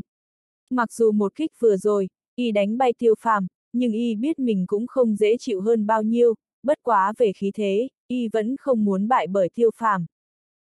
Phải không, tiêu phàm liếm liếm máu tươi trên khóe miệng, lộ ra nụ cười khát máu, cũng không có chút mảy may e ngại nào, bất quá ta thật không ngờ tới, người vậy mà đã đột phá chiến hoàng cảnh đỉnh phong, nhưng mà chiến hoàng cảnh đỉnh phong này có vẻ như cũng chẳng hơn bao nhiêu, hẳn là vừa mới may mắn đột phá được. Chiến hoàng đỉnh phong, những người khác hít một hơi, trợn mắt hốc mồm nhìn về phía Nam Cung Thiên Giật, 20 tuổi đã là chiến hoàng cảnh đỉnh phong, phóng nhãn nhìn xem ly hỏa đế đô rất nhiều năm chưa từng có một ai. Quả nhiên không hổ là người trẻ tuổi tài giỏi nhất đại ly đế triều, thực lực như vậy, cho dù là cửu đế tử Nam Cung Tiêu Tiêu không có biến mất 3 năm cũng chưa chắc có thể so sánh. Nam Cung Thiên giật mị mị hai mắt, trong mắt có một tia kiêu ngạo, nhưng càng nhiều vẫn là ngưng trọng. Y là chiến hoàng cảnh đỉnh phong không sai, điểm này đủ để y có thể khinh thường tất cả, nhưng tiêu phàm một tên chiến hoàng cảnh trung kỳ cường ngạch, vậy mà y cũng chỉ là hơi áp tiêu phàm, hơn nữa bản thân y cũng chẳng tốt đẹp gì, điều này khiến y làm sao có thể bình tĩnh, làm sao có thể kiêu ngạo được. Trong lòng Nam Cung Thiên Giật, hắn mới là đệ nhất thiên tài đại ly đế triều, ngoại trừ Nam Cung Tiêu Tiêu ba năm trước đây ra, hắn coi thường tất cả. Ba năm nay, Nam Cung Thiên Giật được phần lớn tài nguyên tu luyện, thực lực đã tăng mạnh, từ lâu đã không còn là hắn ba năm trước, dù là gặp phải bàn tử ba năm trước đây, hắn cũng sẽ không e ngại. Nhưng hôm nay lại bị một quyền của tiêu phàm khiến cánh tay run rẩy, điều này khiến trong lòng Nam Cung Thiên giật nổi lên sát khí càng đậm. Ta sẽ khiến ngươi hiểu rõ sự tranh lệch. Khuôn mặt vẫn luôn bình thản của Nam Cung Thiên giật rốt cục trở nên có chút dữ tợn, hồn điêu thú loại dao mang y đáp xuống mặt đất. Ngay sau đó, Nam Cung Thiên giật từng bước từng bước đi về phía tiêu phàm, trên người tỏa ra một cỗ bàng bạc chiến ý cùng sát ý, mỗi một bước đi, khí thế của y cũng càng ngày càng tăng lên. Y từ từ mở bàn tay ra, dùng sức nắm lại, một chuôi bảo kiếm hình rồng kim sắc bao quanh xuất hiện ở trong tay, một sự sắc bén phóng ra bốn phương tám hướng. Long hình bảo kiếm dài bốn thước, quanh thân kim quang rạng rỡ, giống như hỏa diễm đang thiêu đốt, ẩn ẩn tản ra từng tiếng kêu nhỏ, tựa như chân long đang gầm thét. Bát phẩm hồn binh long đế kiếm. Đám người nhìn thấy long hình bảo kiếm kia, toàn thân phát run, trong mắt càng là vẻ khó tin. Long đế kiếm, đó là bảo kiếm chuyên dụng của đại ly đế chủ, vậy mà lại ở trong tay đại đế tử. Điều này còn phải nói sao? Đại đế tử đã là người thừa kế duy nhất trong lòng đế chủ, sớm ban long đế kiếm cho hắn thì có sao đâu.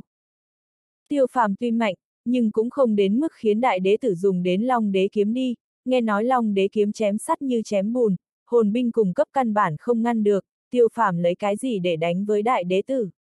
Có ít người ngang ngược càn rỡ quen rồi, sớm đã không coi ai ra gì, tự cho mình là đối thủ của đại đế tử, chết cũng đáng đời.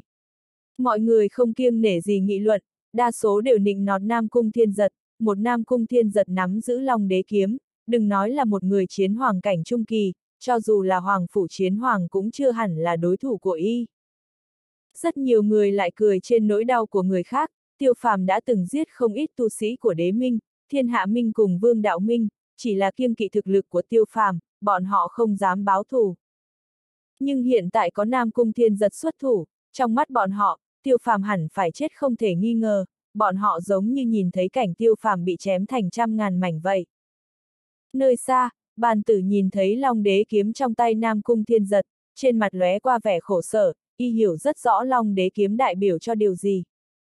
Nguyên lai ta sớm đã bị gia tộc phứt bỏ, nhưng ta còn ôm một tia hy vọng cuối cùng, ha ha, cũng tốt, từ nay về sau Nam Cung Tiêu Tiêu ta tự do hoàn toàn. Bàn tử thê lương cười nói, cả người khí thế đột nhiên đại biến, một cỗ chiến ý tràn ngập phóng lên tận trời. Cho tới nay, trong lòng y vẫn còn một tia chấp niệm, chính là lần nữa trở lại Nam Cung gia tộc, sẽ không bị vứt bỏ. Lúc y nhìn thấy long đế kiếm kia, bàn tử liền hiểu rõ, một tia chấp niệm cuối cùng cũng tan thành mây khói, cả người cảm thấy nhẹ nhõm hơn rất nhiều. Lại muốn đột phá, quan tiểu thất mấy người kinh ngạc nhìn bàn tử, nhất là ảnh phong, y nhưng là hiểu rõ bàn tử không lâu trước đó mới đột phá chiến hoàng cảnh trung kỳ, lần đột phá này cũng quá nhanh đi. Các ngươi thay lão nhị hộ pháp, tiêu phàm nhìn thấy khí thế phát ra trên người bàn tử, trên mặt lộ ra vui mừng, đồ lục đao xuất hiện ở trong tay, chỉ Nam Cung Thiên giật nói, cút tới đây nhận lấy cái chết. Cho dù là tranh lệch hai cảnh giới, tiêu phàm cũng không hề e ngại điều gì, vẫn bá đạo, tùy tiện như cũ. Đám người kinh ngạc nhìn hướng tiêu phàm, không biết tiêu phàm lấy ở đâu dũng khí, lại còn dám gào thét với Nam Cung Thiên giật. Ta rất bội phục dũng khí của ngươi, đao này của ngươi mặc dù không tệ, nhưng ở trước mặt ta cũng chỉ là là đồng nát sắt vụn. Nam Cung Thiên giật lạnh lùng cười một tiếng, long đế kiếm vung lên. Ngao, một tiếng long ngâm to lớn vang lên trong không khí, chỉ thấy trên long đế kiếm phát ra một đạo kiếm khí màu vàng óng, kiếm khí kia rất quỷ dị, quanh co khúc khuỷu, như là dao long, lại lộ ra một cỗ uy áp ngập trời. Long chi kiếm ý, đám người kinh hô, rút lui ra sau mấy bước, vẻn vẹn chỉ là uy áp liền khiến đa số người không thở nổi. Long chi kiếm ý sao?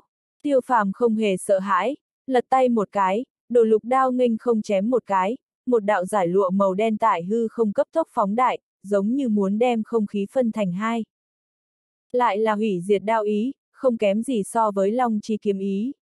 Đáng tiếc, hủy diệt đao ý có vẻ như chỉ là nhất trọng đỉnh phong, mà long chi kiếm ý lại là nhị trọng đỉnh phong, lập tức phân cao thấp.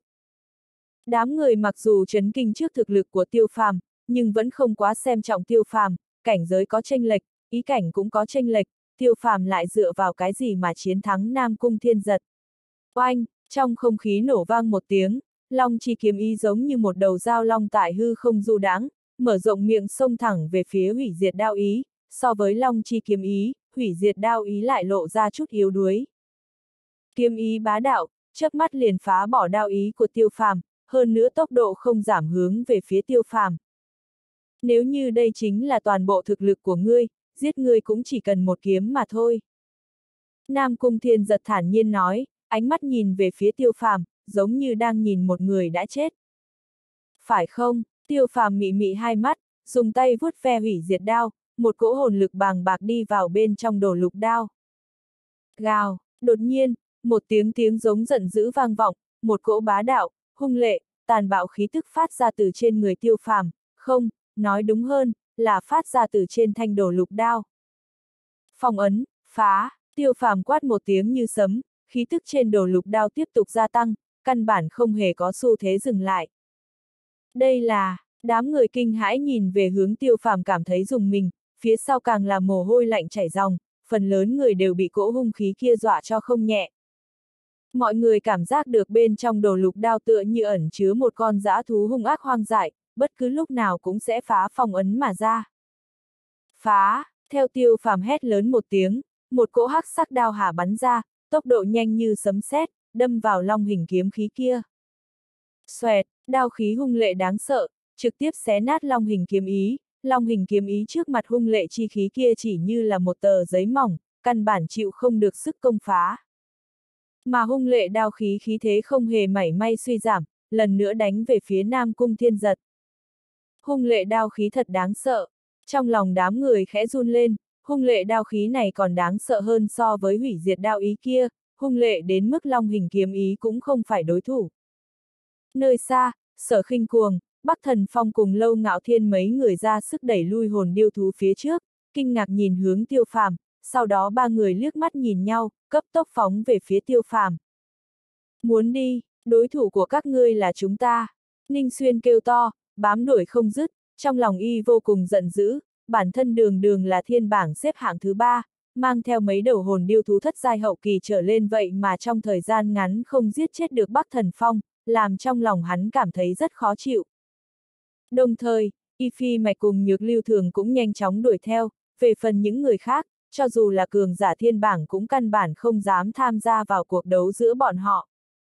Chân long tại thiên, nhìn thấy tiêu phàm một đao liền phá được long hình kiếm ý của y, trong lòng Nam Cung Thiên Giật cũng vô cùng kinh ngạc, nhưng cũng chưa tới mức khiến hắn sợ hãi. Chỉ cần là tu vi dưới chiến hoàng cảnh, y căn bản không hề có chút e ngại nào. Lật tay, lòng đế kiếm vạch một cái trong không khí, không khí giống như vỡ ra, chỉ thấy một đạo kiếm khí màu vàng dài chừng 10 trượng nhanh chóng xuất hiện, trong chớp mắt biến thành một đạo kiếm khí dài đánh về phía tiêu phàm. Kiếm khí này, giống như là có sinh mệnh thật sự, long khiếu cửu thiên, bá đạo hung mãnh, đồng tử màu vàng cực kỳ băng lãnh. Gào, kiếm khí phát ra một tiếng hét giận dữ, lập tức chỉ thấy đầu của nó vừa nhấc lên, liền đâm vào hung lệ đao khí kia, cả hai liên tiếp phát nổ, chỗ giao nhau, nhốn nháo từng đạo kim sắc kiếm khí cùng đao khí màu đen vần quanh.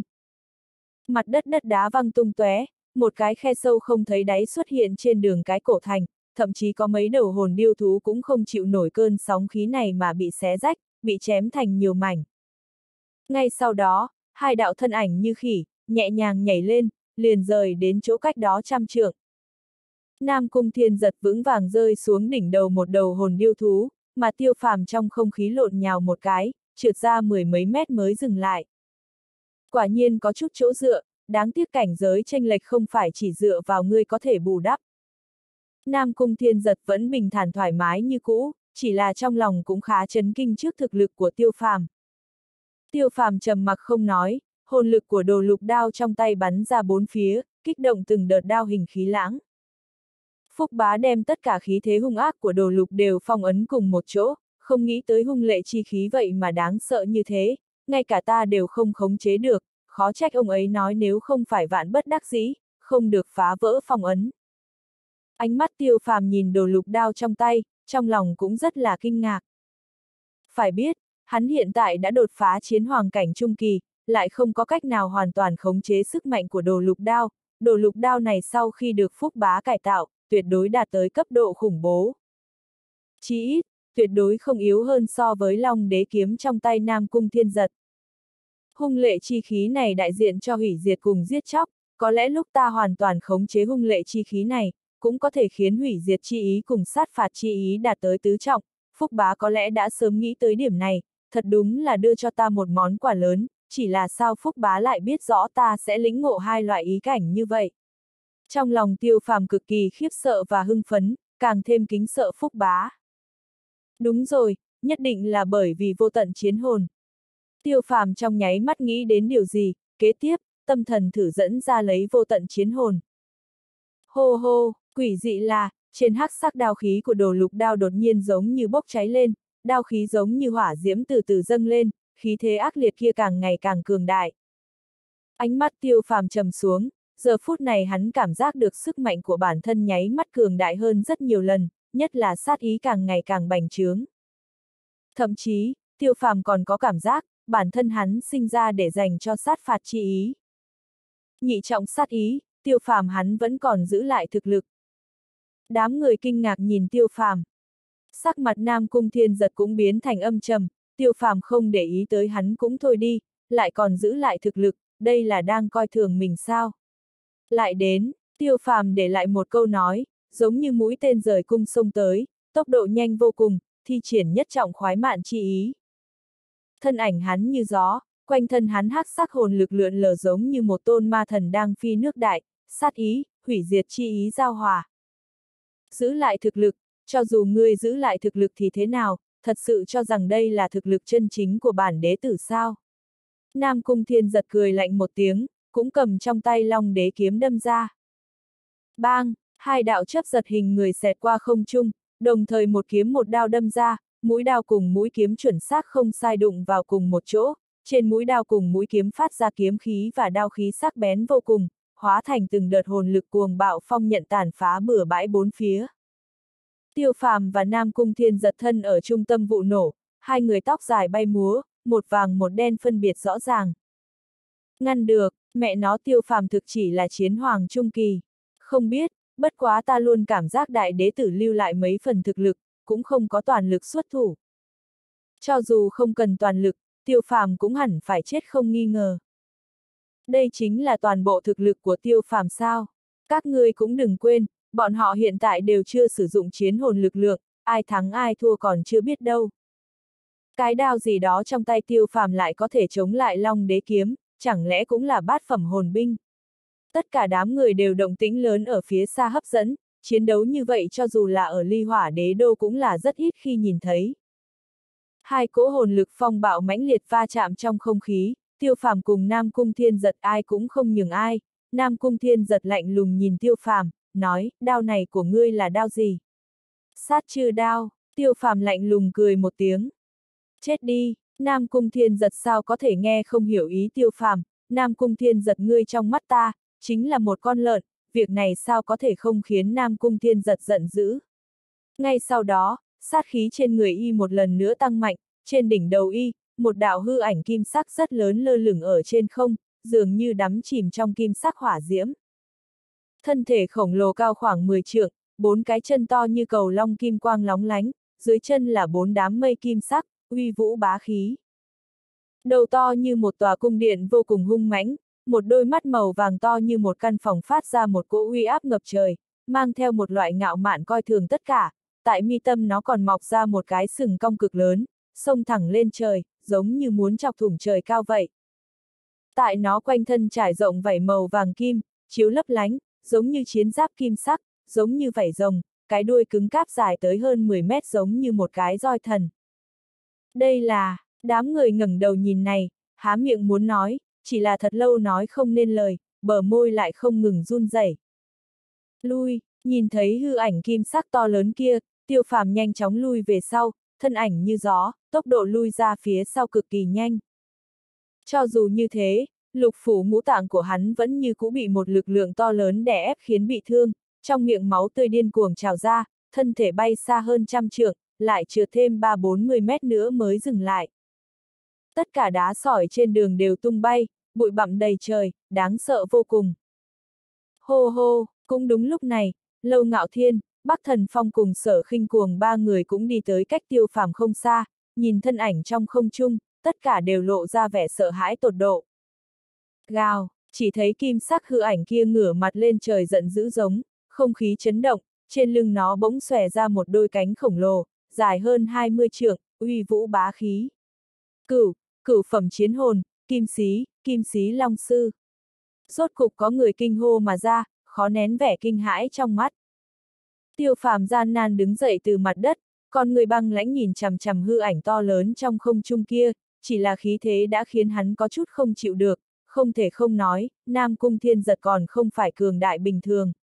Cửu phẩm chiến hồn kim xí long sư, tiêu phàm hít sâu một hơi, lau đi máu tươi trên khóe miệng, đã có một sự nhận biết rõ ràng về thực lực của Nam Cung Thiên Giật.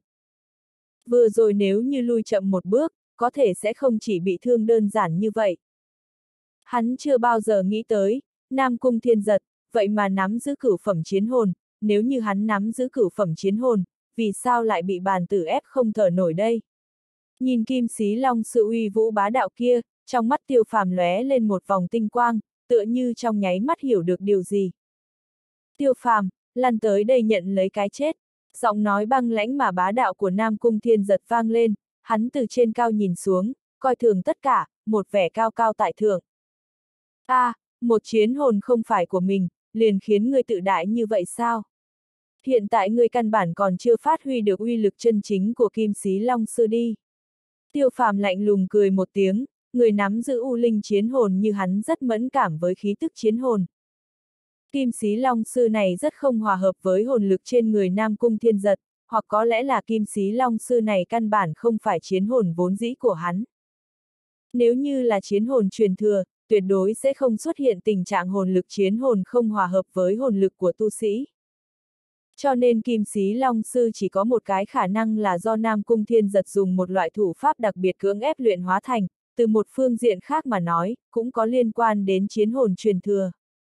Chỉ là dù tiêu phàm tìm kiếm bên trong tu la truyền thừa, cũng không tìm thấy đoạn ký ức liên quan đến loại thủ pháp này.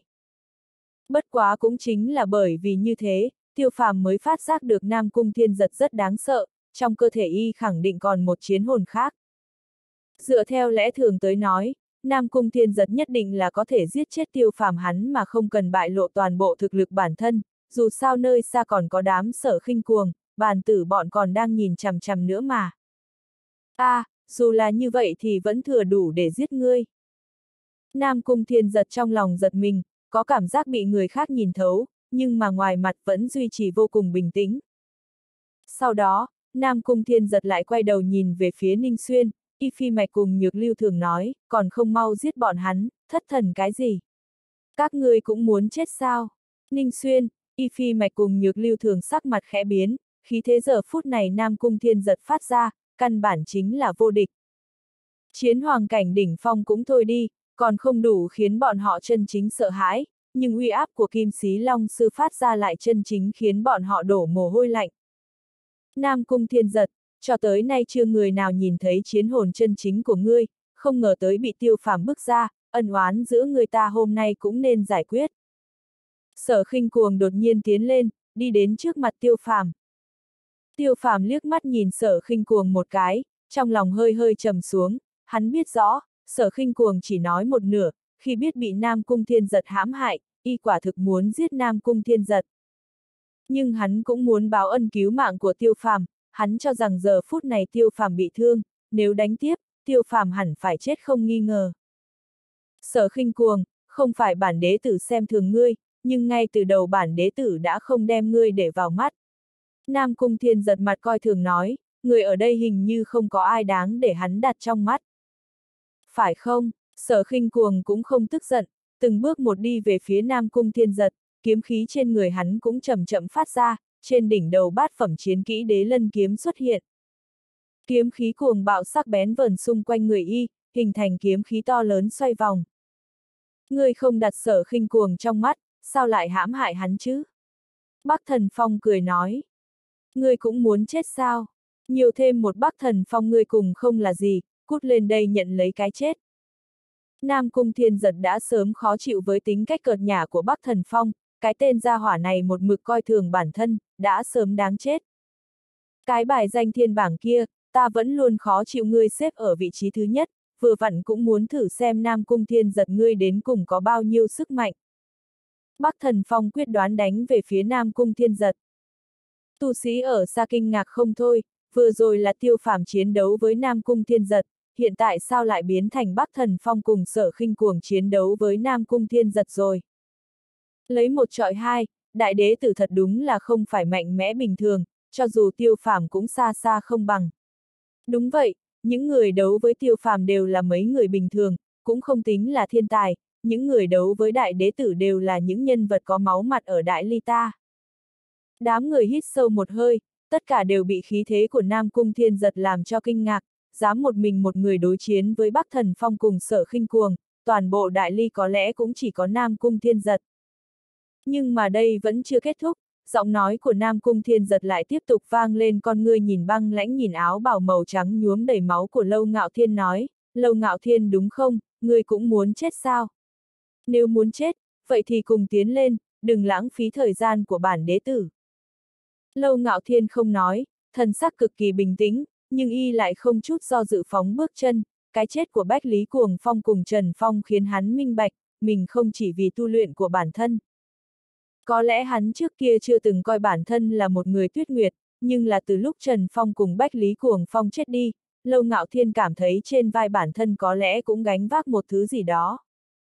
Huống chi, Lâu Ngạo Thiên hắn ngông nghênh kiêu ngạo từ bé, cho tới bây giờ chưa từng bị ai coi thường, Nam Cung Thiên giật dám khiêu khích hắn, Lâu Ngạo Thiên y tất nhiên không e ngại điều gì cả. Lấy một địch ba, đám người hít một hơi lạnh, máu trong cơ thể đều sôi trào, giống như là bọn họ chuẩn bị giao chiến với tam đại thiên tài vậy. Được, được, hôm nay muốn chết, bản đế tử sẽ thành toàn cho các ngươi.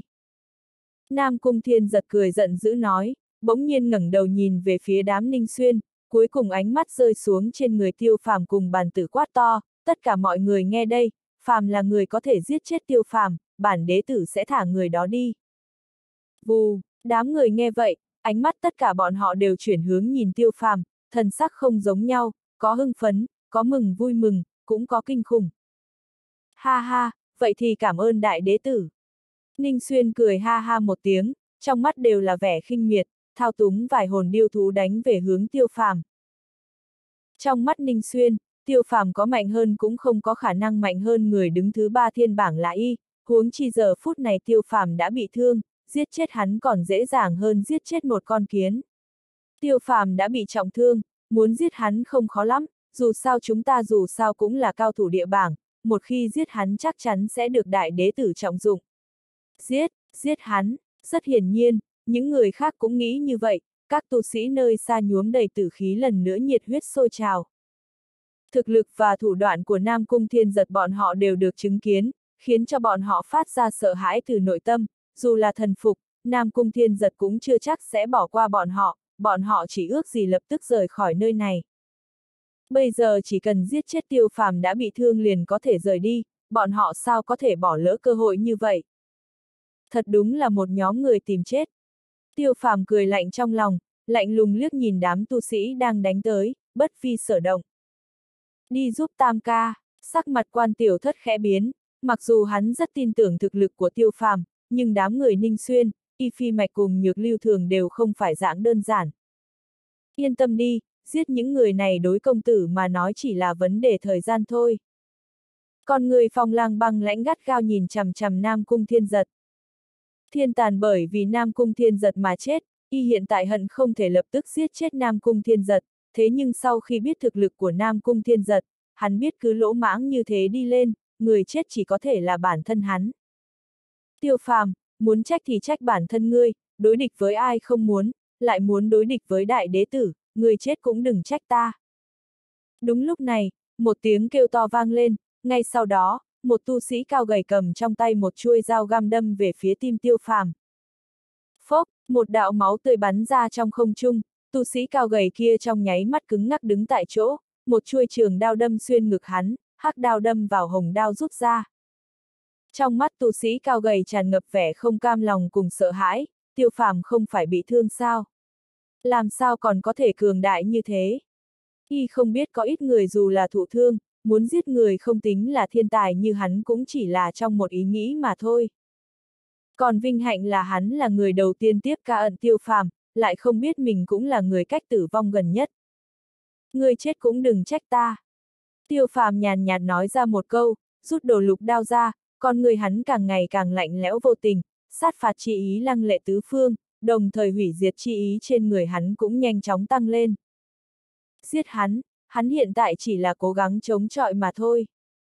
Ninh Xuyên nhìn thấy tốc độ xuất đao của tiêu phàm, trong lòng kinh hãi, hắn cũng rất thanh tỉnh không tự mình động thủ, chỉ là thao túng hồn điêu thú công kích tiêu phàm. Cho người kêu gào khoa trương này. Tiêu phàm lạnh lùng liếc mắt quét Ninh Xuyên, chân đạp lưu quang trích tinh bộ, tốc độ đạt tới cực hạn, sao còn bộ dáng của người bị thương. Tiêu phàm còn nhớ kỹ, Ninh gia chính là cửu nhân của Phong Lang và Thiên Tàn, hơn nữa còn chuẩn bị liên kết với Nam Cung Thiên Giật để giết ta, đấy là do Ninh Xuyên ngươi tự tìm cái chết, ta cũng chỉ thuận tiện giết ngươi thôi. Ngươi không bị thương, vừa rồi là cố ý. Ninh Xuyên kêu lên nhìn tiêu phàm đánh tới, sắc mặt đại biến, vội vàng thao túng mấy đầu hồn điêu thú nhào về phía tiêu phàm. Cho dù bị thương, giết ngươi cũng dễ như ăn cháo. Đôi mắt tiêu phàm trầm xuống, sát khí lạnh lẽo. Hắn chưa từng chủ động trêu chọc ninh ra, nhưng mà không ít người ninh ra đến tìm hắn để gây sự, ninh vực như thế, ninh chiết cũng như vậy, bây giờ đến ninh xuyên cũng cho là tiêu phàm hắn giết chết rất dễ dàng. Tiêu phàm không tự chủ động tìm phiền toái, nhưng cũng không phải do tiêu phàm sợ phiền phức. Giết hắn, nhìn thấy tiêu phàm đánh tới, chẳng biết tại sao trong lòng ninh xuyên lột bột một cái, ẩn ẩn có loại cảm giác sợ hãi, nhất là cặp mắt đen kịt, băng lãnh, vô tình kia quá là đáng sợ. Vừa dứt lời, Ninh Xuyên liền thao túng mấy đầu hồn điêu thú đánh về phía tiêu phàm, khóe miệng tiêu phàm hơi hơi dương lên, lộ ra một tia khinh thường nồng đậm. Bản thân giết 100 hồn điêu thú còn chưa đủ sao.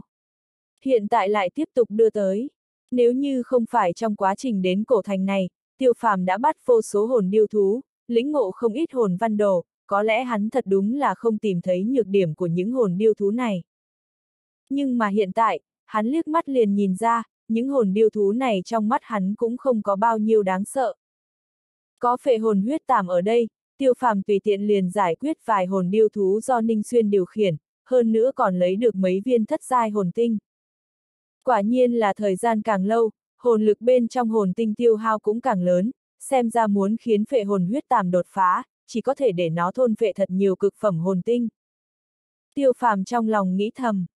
Nhất kiếm kinh hồng, trong lúc tiêu phàm thất thần, Ninh Xuyên bắt lấy cơ hội tốt, một kiếm đâm về hướng tiêu phàm, một đạo giải lụa màu trắng xẹt qua không khí, giống như là xé toạc hư không. Kiếm khí rất nhanh, dù là tiêu phàm cũng cảm giác ra rẻ một trận đau nhói, kiếm khí màu trắng kia đến rất nhanh, trực tiếp đâm về phía cổ họng tiêu phàm. Nhị trọng khoái chi kiếm ý, cũng không hổ là hạng ba thiên bảng. Khóe miệng tiêu phàm hiện lên một độ cung quỷ dị, hắn thân dung hòa khoái mạn chi ý, chân đạp lưu quang trích tinh bộ, trong nháy mắt thối lui mười mấy mét. Thử ngâm, kiếm khí màu trắng xẹt qua hư không chém vào mặt đất, một khe rãnh lớn bắt đầu lan tràn ra từ vị trí tiêu phàm đứng trước đó. Không trung còn tung bay vài sợi tóc, sau khi bị kiếm khí thổi qua, cuối cùng tan thành mây khói. Nhưng mà Ninh Xuyên cũng không thu tay lại, lại đâm ra một kiếm, một kiếm vừa rồi khiến hắn nếm được chút sư vị thành công, chỉ ít về tốc độ ra kiếm, tiêu phàm cũng không nhất định có thể so với hắn. Cũng ở nơi này là, một sợi gió lạnh phất qua khiến thân thể Ninh Xuyên cứng đờ, sau đó bỗng nhiên thối lui về phía sau, chẳng biết lúc nào, tiêu phàm đã xuất hiện trước mặt y. Nể mặt để ta ngộ đến nhị trọng khoái mạn chi ý, cho ngươi chết toàn thây. Thanh âm tiêu phàm lạnh lùng vang lên, cho tới nay hắn đều đang lĩnh ngộ khoái mạn chi ý, nhưng cũng không có quá nhiều thu hoạch. Năng lực lĩnh ngộ của hắn rất nghịch thiên, nhưng cũng cần một cái gì đó tham khảo, chỉ là người lĩnh ngộ khoái mạn chi ý rất ít, lại không nghĩ rằng Ninh Xuyên chính là một trong số đó. Nếu như chân chính đấu một trận, tiêu phàm thật đúng là không dám khinh thường Ninh Xuyên, nhưng một người đến tâm của kẻ mạnh cũng đều mất đi, căn bản không có khả năng phát huy thực lực chân chính. Giờ phút này nội tâm Ninh Xuyên đã tràn ngập sợ hãi, sao có thể là đối thủ của tiêu phàm đây? Tiêu phàm, người quá ngông cuồng. Ninh Xuyên giận dữ, kiếm chém lên xuống, liên tục đâm ra mấy kiếm, hư không hiện lên vô số kiếm ảnh, rõ ràng chỉ là mấy kiếm, lại khiến người ta cảm thấy có mấy trăm mấy ngàn kiếm, đây chính là sự đáng sợ của khoái mạn chi ý, căn bản không để cho người ta nhìn ra được chân dung. Ở trước mặt ngươi, cuồng vọng cũng không tính là cuồng vọng. Tiêu phàm lưu lại một đạo tàn ảnh tại chỗ, lúc xuất hiện lần nữa đã là trước người Ninh Xuyên, hắn trực tiếp trực tiếp xuyên qua vô số kiếm ảnh kia. Ninh Xuyên kinh hãi, không chút do dự dùng trường kiếm ngăn trước người. Răng rác, một tiếng vang lên, trường kiếm trong tay Ninh Xuyên bị một đao chém vỡ, đồ lục đao trong tay tiêu phàm đâm rách hồn hải của Ninh Xuyên. Tiêu phàm, đó là đao gì? Ninh Xuyên một trường đẩy tiêu phàm ra, kiếm gãy trong tay rơi xuống đất, trong lòng kinh hãi, kiếm trong tay hắn là thất phẩm hồn binh đó, lại có thể bị một đao chảm nát. Sao luôn có người thích hỏi vấn đề này chứ? Vừa rồi Nam Cung Thiên Giật cũng hỏi, nói cho ngươi biết cũng không sao cả, đao của ta, tên là sát trừ đao. Tiêu phàm tà tà cười nói, con người băng lãnh tới cực điểm. Sát trừ đao, đám người nghe được mấy chữ này, sắc mặt tái nhợt vô cùng, đến Ninh Xuyên cũng là heo, vậy thì bọn họ tính là gì đây? Ninh Xuyên tức giận liên tục phun ra mấy ngụm máu tươi, thân thể ầm một tiếng té quỵ dưới đất, vô số kiếm khí phát ra từ người hắn. Phù phù, Ninh Xuyên cực kỳ không cam lòng ngã trong vũng máu, hồn lực trong cơ thể y nhanh chóng bay đi, sinh cơ chậm rãi biến mất, dẫy dụa mấy lần liền không còn tiếng gì nữa. Tiêu phàm mặc dù chỉ đâm rách hồn hải của hắn, nhưng hủy diệt chi ý không phải đơn giản như vậy, hủy diệt chi ý vẫn đang không ngừng hủy diệt sự sống của Ninh Xuyên. Một đao, Ninh Xuyên chết, đường đường cao thủ thứ ba thiên bảng lại bị một nhân tài mới nổi linh điện giết chết. Đám người thấy thế liền hít vào mấy ngụm khí lạnh, những người còn muốn ra tay giết tiêu phàm, tất cả đều ngừng lại, thần sắc vô cùng hoảng sợ.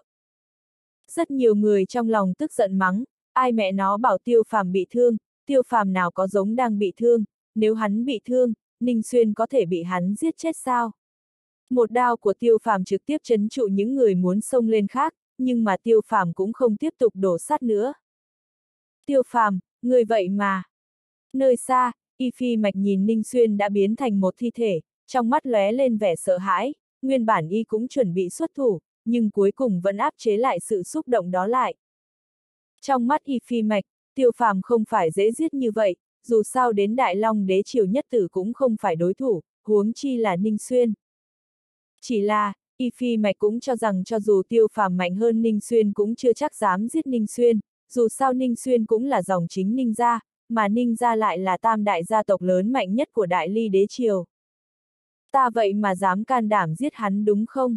Tiêu phàm nghiền ngẫm nhìn Y Phi Mạch, mặt coi thường, nói, may mà ngươi là thiên bảng đệ tứ, hắn muốn giết ta chẳng lẽ không cho ta giết hắn. Huống chi, Nam Cung Thiên giật ta đều dám giết, vì sao lại không dám giết Ninh Xuyên? Ninh gia rất mạnh sao? Ninh gia rất mạnh sao? Lời nói của tiêu phàm có vẻ rất bá đạo, ngông cuồng, nhưng lại làm cho người khác không thể nào phản bác, đúng như tiêu phàm nói, đến Nam Cung Thiên giật hắn đều dám giết, huống chi Ninh Xuyên đây. Ninh gia có lẽ rất mạnh, nhưng trước mặt đế tộc Nam Cung gia tộc, thì tính là gì? Ngươi nếu muốn giết ta, ta cũng cho ngươi một cơ hội. Ánh mắt tiêu phàm lạnh lẽo lần nữa nhìn về phía y phi mạch, hắn không muốn qua một lúc nữa y phi mạch lại đâm sau lưng hắn. Trong mắt tiêu phàm, y phi mạch thiên bảng đệ tứ này có lẽ mạnh hơn rất nhiều so với ninh xuyên thiên bảng đệ tam kia, bằng không lúc ấy tại quý tộc yến hội cũng sẽ không trấn áp được ninh xuyên. Y phi mạch trầm mặc một lúc, cuối cùng lắc lắc đầu nói thôi, ta không bằng ngươi. Hy vọng ngươi nói lời giữ lời, ta người này không thích lật mặt, một lúc nữa ngươi nếu dám đâm sau lưng ta, ta sẽ khiến ngươi chết rất khó coi, dù là thể diện của y tam gia cũng không quan tâm. Thần sắc tiêu phàm vô cùng lạnh lùng. Y phi mạch tất nhiên biết rõ y tam gia là ai, đó chính là y vân, mặc dù bị tiêu phàm uy hiếp trong lòng y rất khó chịu, nhưng nếu đánh, trong lòng y vẫn còn chút e ngại với tiêu phàm. Nếu như tiến thêm một bước, có lẽ có thể đánh với tiêu phàm một trận, đáng tiếc.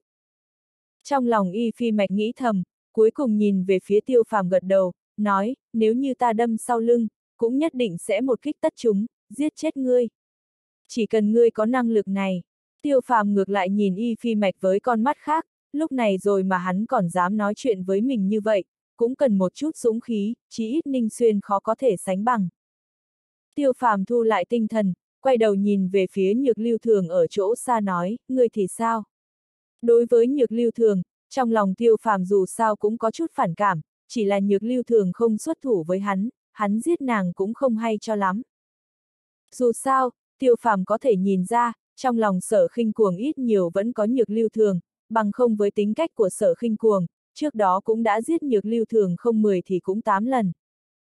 Nhược lưu thường lạnh lùng kêu lên một tiếng, thao túng vài hồn điêu thú bay về hướng xa.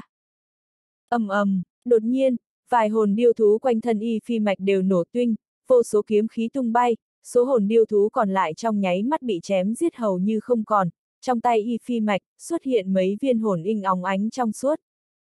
Tiêu phàm hơi gật đầu, hành động này của y phi mạch là vì loại bỏ lo lắng của hắn với hắn, bởi vì giết hết hồn điêu thú liền mang ý nghĩa đối địch với Nam Cung Thiên Giật. Y phi mạch, người sẽ chết rất thảm, bản đế tử cam đoan. Nơi xa truyền đến tiếng nói phẫn nộ của Nam Cung Thiên Giật, người dám phản bội hắn cho tới bây giờ đều chỉ có một con đường chết. Thần tình y phi mạch lạnh nhạt tựa như căn bản không nghe thấy lời nói của Nam Cung Thiên Giật vậy, lẳng lặng đứng ở đó, áo trắng không gió mà bay. Oanh, một tiếng nổ vang từ đằng xa truyền đến, ba đạo thân ảnh bị một sức mạnh hất bay, hung hăng đập trên mặt đất, tung lên vô số bụi bặm. Thật mạnh, ba người sở khinh cuồng lại bị đánh bay. Đám người kinh ngạc kêu lên, trong miệng đủ để nhét một quả trứng vịt, Nam Cung Thiên giật thực lực quá là đáng sợ. Ha ha, sở khinh cuồng, ngươi chẳng qua cũng chỉ như vậy, cho dù ngươi đột phá chiến hoàng hậu kỳ thì lại thế nào? Giết ngươi, dễ như bóp chết một con kiến. Giọng nói tùy tiện của Nam Cung Thiên giật vang vọng trong không trung, mãi không dứt. Giết, sở khinh cuồng hét lên giận dữ, cả người tràn ngập máu me từ dưới đất sông lên, quang mang đáng sợ phát ra từ trên người y, đó là lăng lệ kiếm quang. Kiếm quang diệu cửu thiên, dù là thân thể bị thương, sở khinh cuồng y cũng chẳng lo sợ gì cả, bởi vì hắn lĩnh ngộ vốn chính là cuồng ngạo kiếm ý, chỉ cần dũng cảm tiến tới, bản thân hắn liền trở thành một thanh kiếm vô cùng thẳng, không cho phép uốn cong. Cho dù là cách xa mấy trăm trượng, đám người cũng cảm nhận được một cỗ sát khí đáng sợ sắc bén. Đến vừa hay, Long khiếu cửu châu, Nam Cung Thiên giật không hề mảy may e ngại, Long đế kiếm nhẹ nhàng vung lên, một đạo long hình kiếm khí bắn ra, sau đó chia ra làm chín, từ chín phương hướng nhắm thẳng vào sở khinh cuồng, quỷ dị là chín đường kiếm khí trong quá trình bay đi còn không ngừng tăng nhanh, giống như tiềm long ra biển, uy thế ngập trời. ầm ầm, hai đại kiếm chiêu đập vào nhau, kiếm quanh lóe sáng đầy trời, bốn phía cuồng phong gào thét, một trận nổ lớn lấy hai người làm trung tâm bắn vẻ bốn phía, những nơi đi qua, mọi thứ đều hóa thành cho bụi. ầm, um, cũng đúng lúc này, một vệt sáng từ trong gió lốc bắn ra, trượt dài trên mặt đất mấy trăm mét mới dừng lại. Sở khinh cuồng bại, đám người kinh hãi không thôi, thân ảnh kia trừ sở khinh cuồng ra còn có thể là ai. Tiêu phàm vẻ mặt nghiêm túc, con người gắt gao nhìn chằm chằm Nam Cung Thiên Giật, trong lòng cũng cực kỳ chấn động trước thực lực đáng sợ của Nam Cung Thiên Giật đáng. Chết đi, đột nhiên, một tiếng quát như sấm từ trong gió lốc vang lên, Nam Cung Thiên Giật hóa thành một vệt sáng, mang theo long đế kiếm cấp tốc đánh về phía sở khinh cuồng. Hiện tại nên đến ta rồi. Bắc thần phong vẫn luôn quan chiến hít sâu một hơi, hóa thành một đạo chớp lóe phóng về hướng Nam Cung Thiên Giật. Người ta muốn giết, ai cũng cứu không được. Nam Cung Thiên Giật gầm thét một tiếng, hơi chuyển ý nghĩ, mấy con hồn điêu thú đột nhiên đánh tới, ngăn lại bước chân của Bắc Thần Phong. Khóe miệng Nam Cung Thiên giật lộ ra một tia hung ác, sở khinh cuồng, người có thực lực gần với hắn nhất, bây giờ có cơ hội giết y, làm sao có thể bỏ lỡ được đây? Có thể chết ở dưới long đế kiếm, người cũng có thể nhắm mắt. Nam Cung Thiên giật dường như đã thấy cảnh sở khinh cuồng bỏ mình. Thần sắc sở khinh cuồng lạnh lùng nhìn Nam Cung Thiên giật đang đánh tới, cũng đã chuẩn bị tốt một kích tuyệt sát, dù là chết, hắn cũng phải mang theo nửa cái mạng Nam Cung Thiên giật. Phốc, trường kiếm đâm vào thân thể, một đạo máu tươi văng ra không khí, chẳng biết từ lúc nào, trong lúc ngàn cân treo sợi tóc, giữa hai người đột nhiên xuất hiện một bóng hồng xinh đẹp, đó là một nữ tử vô cùng gầy yếu. Nàng dùng bản thân mình ngăn trước người sở khinh cuồng, trong miệng máu tươi điên cuồng trào ra, nhuộm đỏ cả y phục sở khinh cuồng, bắn tung tóe khắp mặt y, nhiệt độ nóng hổi khiến y trong nháy mắt thanh tỉnh hơn rất nhiều. Không được sở khinh cuồng ngửa mặt lên trời gào thét, sát khí đáng sợ sát khí trào ra từ trên người y, không biết sức lực đến từ nơi nào, nháy mắt nắm lấy eo bóng người xinh xắn kia, đồng thời, một kiếm bá đạo đâm về phía cánh tay Nam Cung Thiên Giật.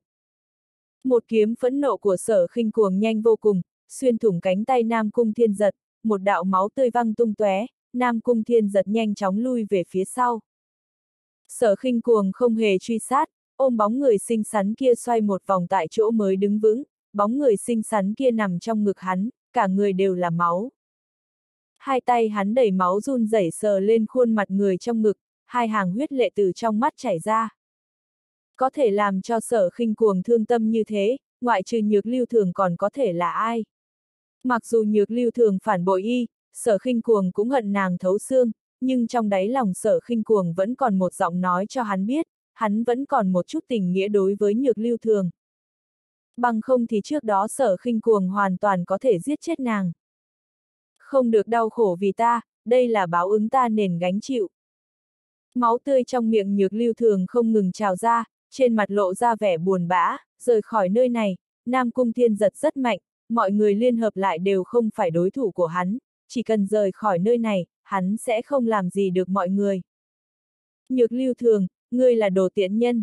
Đột nhiên, nơi xa truyền đến tiếng mắng chửi của Nam Cung Thiên Giật, nếu như không có bản đế tử, ngươi đã sớm chết không có chỗ chôn, ngươi cũng dám phản bội bản đế tử. Lời này vừa nói ra, đám người tất cả đều kinh ngạc nhìn hướng Nam Cung Thiên Giật, nhược lưu thường là quân cờ của Nam Cung Thiên Giật.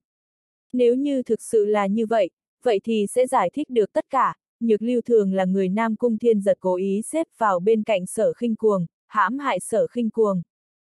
Đúng vậy, ta nói sở khinh cuồng sau khi trúng độc, nhược lưu thường lại đột nhiên gả cho sở dịch phong, nguyên lai tất cả những thứ này đều là chủ ý của Nam Cung Thiên Giật, bởi vì y muốn giết chết sở khinh cuồng, hơn nữa còn có thể đem nhược lưu thường sắp xếp vào trong sở ra. Đáng tiếc, Nam Cung Thiên Giật không nghĩ tới sở khinh cuồng không chết, hơn nữa giết chết sở dịch phong, nhược lưu thường tại sở ra cũng liền mất đi địa vị, phá hư kế hoạch của hắn. Tất cả có lẽ chỉ bởi vì nhược lưu thường thực sự đã yêu sở khinh cuồng, chỉ là chính nàng lúc này mới biết rõ mà thôi. Đám người rất nhanh liền hiểu được, trong lòng kinh hãi, trong nháy mắt liền hiểu rõ nội tình, càng thêm sợ hãi Nam Cung Thiên Giật. Nam Cung Thiên giật thực lực cường đại có lẽ cũng không tính là gì, nhưng những tính toán của hắn quá đáng sợ. Nếu ngươi đã muốn cùng một chỗ với hắn, vậy cùng chết đi. Nam Cung Thiên giật giận tím mặt, lần nữa phóng về hướng sở khinh cuồng. Đi, trước rời khỏi nơi này. Tiêu phàm hít sâu một hơi, nghe được lời nói của nhược lưu thường, hắn cũng cảm giác có chút không thích hợp. Nam Cung Thiên giật rõ ràng rất mạnh, nhưng ngay từ đầu cũng không hề toàn lực xuất thủ, chỉ là cho đám hồn điêu thú vây công bọn hắn, cho dù là trước đó đánh với tiêu phàm, cũng chỉ cho người ta một loại cảm giác sức mạnh có hạn. Hắn cố ý tỏ ra mình yếu, muốn đem kéo tất cả chúng ta ở lại. Tiêu phàm trong nháy mắt liền minh bạch, trong lòng trầm ngâm nói, ngay từ đầu hắn cho là dựa vào hồn điêu thú liền có thể trực tiếp tiêu diệt chúng ta cho nên mới không có xuất thủ, lại không nghĩ rằng hồn điêu thú cũng không mạnh như tưởng tượng. Mà hiện tại, hồn điêu thú không làm gì được chúng ta, cho nên hắn mới cố ý khiến chúng ta lộ ra sơ hở, để cho chúng ta mang hy vọng tiếp tục ở lại. Thực ra đây cũng không phải là thực lực chân chính của hắn, đến tận lúc toàn bộ chúng ta đều sẽ bị giết chết ở chỗ này. Nghĩ vậy, tiêu phàm không chút do dự quát to một tiếng, liền bỏ chạy về phía xa, Nam Cung Thiên giật tính toán thật đúng là không phải đáng sợ bình thường. Cách đó không xa, quan tiểu thất, ảnh phong, phong lang mấy người mang theo bàn tử ngồi lên lưng tiểu minh, nhanh chóng lao vào không trung, dù là có vô số hồn điêu thú cấp thấp ngăn lại đường đi, bọn họ cũng không lo được nhiều như vậy. Y phi mạch cũng lách mình bay lên, hiện tại toàn bộ tinh lực của Nam Cung Thiên Giật đều đặt trên người sở khinh cuồng, hắn chỉ muốn giết chết sở khinh cuồng cùng nhược lưu thường, bây giờ là cơ hội chạy trốn tốt nhất, tu sĩ khác cũng không dám trốn, bởi vì bọn họ còn ở bên trong cổ thành, căn bản là trốn không thoát. Tiện nhân, chết đi. Nam Cung Thiên giật một kích phẫn nộ chém xuống, một đạo long hình kiếm khí dài chừng 10 trượng chém xuống. Một kích này đối với sở khinh cuồng mà nói, tuyệt đối là một kích tất sát, hắn muốn trốn tránh cũng chưa chắc có thể tránh thoát. Mắt thấy lúc một kích này chuẩn bị đem sở khinh cuồng đánh thành tan nát, đột nhiên xảy ra dị biến. Bang! Đúng lúc này, hai đạo thân ảnh từ hai phương hướng thoáng hiện, dùng kiếm trong tay ngăn trở đỉnh đầu sở khinh cuồng, chính là Bắc Thần Phong cùng Lâu Ngạo Thiên kịp thời chạy tới. Sở khinh cuồng, nhược lưu thường đã chết, người không muốn báo thù cho nàng sao. Bắc Thần Phong quát ẩm lên, trường kiếm y nắm trong tay hơi hơi run rẩy. Nam Cung Thiên giật cơ hồ đã tiến vào trạng thái bùng nổ, bọn họ đều đã trải qua một trận chiến ác liệt, căn bản không phải là đối thủ của y. Nghe được lời nói của Bắc Thần Phong, toàn thân sở khinh cuồng run rẩy kịch liệt một cái, chậm rãi ngẩng đầu lên, trong con ngươi đỏ ngầu sát ý bành trướng, giống như một con dã thú khát máu. Nếu đã muốn chết, vậy liền cùng chết đi. Nhìn thấy lâu ngạo thiên cùng Bắc Thần Phong cũng dám xuất thủ ngăn kiếm của mình lại, Nam Cung Thiên giật cũng triệt để phát cuồng. Kiếm chảm càn khôn, kiếm đạo trường ca, vô ngân, sở khinh cuồng, lâu ngạo thiên cùng Bắc Thần Phong ba người đồng thời hành động, trên đỉnh đầu ba người đều xuất hiện ba thanh trường kiếm hư ảnh, đó là chiến hồn của ba người. Chỉ là ba chiến hồn đều bị vô tận kiếm quang bao quanh, căn bản không nhìn ra chân hình. Ba đạo tấm lụa đồng thời phóng về phía Nam Cung Thiên Giật, kiếm quang xuyên thủng vòng trời, khiến người khác không mở ra được hai mắt. Long vũ thiên hạ, Nam Cung Thiên Giật hét lên giận dữ, Long đế kiếm vũ động, ẩn ẩn có thể nghe được từng tiếng giao long gầm thét, vang vọng trời cao, vô số long hình kiếm khí ở trên không trung vũ động trói lọi vô cùng. Mọi người ở ngoài căn bản không nhìn thấy được bên trong, chỉ có thể nhìn thấy vô số kiếm khí tại va chạm, giao phong. Một kích này quá đáng sợ, vượt xa công kích của chiến hoàng cảnh cường giả tối đỉnh, cho dù là dư âm cũng khiến rất nhiều tu sĩ cấp thấp không chịu được, không ngừng ho ra máu. Thậm chí, thân thể bị kiếm khí xé rách, bỏ mình tại chỗ. Những người khác càng bị dọa đến lộn nhào, bỏ chạy về bốn phía. Oanh long long, đột nhiên mặt đất rung động, cả tòa cổ thành đều rung động mãnh liệt, mặt đất bắt đầu sụp đổ, vô số tu sĩ rơi xuống bên trong khe hở. Mạnh như vậy, cổ thành đều vỡ nát, đám người hít một hơi lạnh, công kích này cũng quá đáng sợ đi, chiến hoàng cảnh cường giả tuy mạnh, nhưng là không có khả năng bài sơn đảo hải mà. Tiêu phàm vừa mới chạy ra khỏi cổ thành, lại là nhìn thấy kiếm khí kia phong bạo, lâu ngạo thiên, sở khinh cuồng cùng bắc thần phong ba người máu me khắp người, thân thể bị vô số kiếm khí xé rách.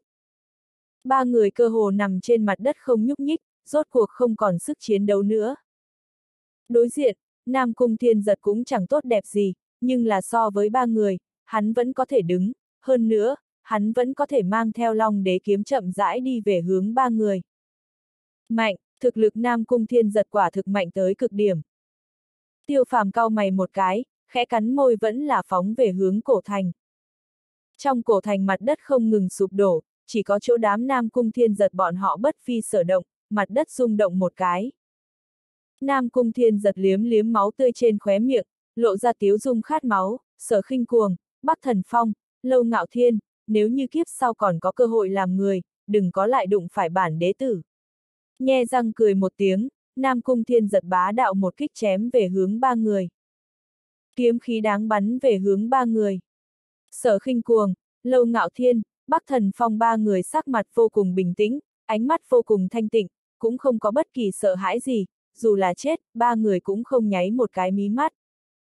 Tàn dương huyết, đột nhiên, một đạo âm thanh thăm thẳm từ trong bụi bậm sông ra, ngay sau đó một đạo huyết sắc tà dương tại hư không hiển hiện, thẳng về hướng cổ họng Nam Cung Thiên Giật. Tự tìm cái chết, Nam Cung Thiên Giật nào có nghĩ đến lúc này vẫn còn có người tới gần, quan trọng là hắn còn không có phát hiện, điều này khiến trong lòng hắn hơi kinh hãi. Có thể tránh thoát khỏi hồn lực của mình, cũng không phải mạnh mẽ bình thường, lập tức không chút do dự chém ra một kiếm, đáng tiếc kiếm của hắn vẫn chậm nửa nhịp, đem huyết sắc tà dương kiếm khí ngăn khuất một bên, nhưng vẫn có mấy kiếm khí bắn thủng cánh tay y. Trên cổ hắn còn có một vết máu nhàn nhạt, nhạt. Gần như đồng thời, trước mặt ba người sở khinh cuồng, Lâu Ngạo Thiên cùng Bắc Thần Phong, đột nhiên xuất hiện một thân ảnh áo đen đang nhìn Nam Cung Thiên giật đối diện. Tiêu phàm, là ngươi. Nam Cung Thiên giật sát tâm nổi lên, trong mắt thiếu chút chừng rớt ra ngoài, hắn nào có thể nghĩ đến lúc này tiêu phàm sẽ làm hỏng chuyện tốt của hắn. Thực lực của tiêu phàm có lẽ không bằng hắn, nhưng hồn lực dao động lại không phải hạng thường. Tiêu phàm, người đi mau, người không phải đối thủ của hắn. Lâu ngạo thiên dùng hết một tia khí lực cuối cùng quát lớn. Tiêu phàm, ân cứu mạng sở mỗ không thể báo đáp, chỉ có thể đời sau lại báo, ngươi không cần phải để ý đến chúng ta, đi mau. Sở khinh cuồng cũng kêu lớn. Đừng kêu, Nam Cung Thiên giật giết không được chúng ta. Ngược lại Bắc Thần Phong, lúc nhìn thấy tiêu phàm, hắn liền thở phào một hơi. Không sai, hắn hiện tại giết không nổi ai. Tiêu phàm cũng một mặt tự tin, cũng không quay đầu lại nhìn Nam Cung Thiên giật nói. Phải không, con người Nam Cung Thiên giật băng lãnh, tựa như chuẩn bị xuất thủ lần nữa. Đừng dọa người. Tiêu phàm cười nhạt một tiếng, có bản lĩnh thì lại triệu hoán kim xí long sư chiến hồn kia ra thử xem. Làm sao, triệu hoán không được, xem ra ta đoán đúng, cái kia căn bản không phải thực lực chân chính của ngươi. Tiếu dung trên mặt tiêu phàm cũng trở nên lạnh lùng, giờ phút này khí thế trên người Nam Cung Thiên Giật, so sánh với vừa rồi là một trời một vực, nguyên bản tiêu phàm còn tưởng rằng hắn đang giữ lại thực lực. Nhưng hiện tại xem ra, lúc ấy mới là lúc thực lực cường đại nhất của hắn. Cho dù ngươi đoán đúng thì sẽ như thế nào, muốn giết ngươi, vẫn dễ như trở bàn tay. Nam Cung Thiên giật sát cơ lạnh lẽo, trong lòng y ẩn ẩn có chút hối hận. Trước đó vì muốn giữ tất cả mọi người lại, hắn cố ý cho người ta một loại cảm giác mình không mạnh, không ngờ tới bị nhược lưu thường nói toạc ra. Mà hiện tại, hắn căn bản không phát huy ra được thực lực cường đại như lúc đó, thậm chí ngay cả kim sĩ long sư đều triệu hoán không được. Sớm biết thế liền nên trực tiếp giết tiêu phàm, không lưu lại bất kỳ tai họa ngầm nào. Phải không, tiêu phàm cười lạnh một tiếng chủ động xuất kích, hủy diệt kiếm ý xuất hiện hình thành một thanh hồn kiếm bảy tám trượng, lao thẳng về phía Nam Cung Thiên Giật. Chớp mắt một cái, hồn kiếm liền cách cổ họng Nam Cung Thiên Giật chỉ có hai thước, hai mắt Nam Cung Thiên giật khẽ híp một cái, dưới chân đạp một cái, thân thể giống như lông vũ lui về phía sau. Nguyên lai sức mạnh của ngươi vừa rồi, chỉ có khi thành chỉ được bảo trì hoàn hảo mới có thể phát huy ra, trong lòng ngươi hiện tại rất hối hận không giết chết ta đi. Tiêu phàm híp hai mắt, trong nháy mắt hiểu rõ điều gì, hồn giới, đây là một loại thủ đoạn vận dụng hồn giới. Đúng vậy, ta hối hận vừa rồi không giết chết ngươi, nhưng hiện tại còn không muộn. Nam Cung Thiên giật dơ long đế kiếm lên ngăn khuất trước người, trực tiếp xé rách hồn kiếm của tiêu phàm. Chẳng qua là khi y vừa mới chuẩn bị thẳng hướng về phía tiêu phàm, mặt đất đột nhiên rung động càng thêm mạnh mẽ, Nam Cung Thiên giật vội vàng ổn định thân hình. Oanh long long, mặt đất vẫn đang sụp đổ, sóng xung kích mãnh liệt quét sạch cả tòa cổ thành, những người chưa kịp chạy khỏi cổ thành đều bị vùi lấp trong lòng đất.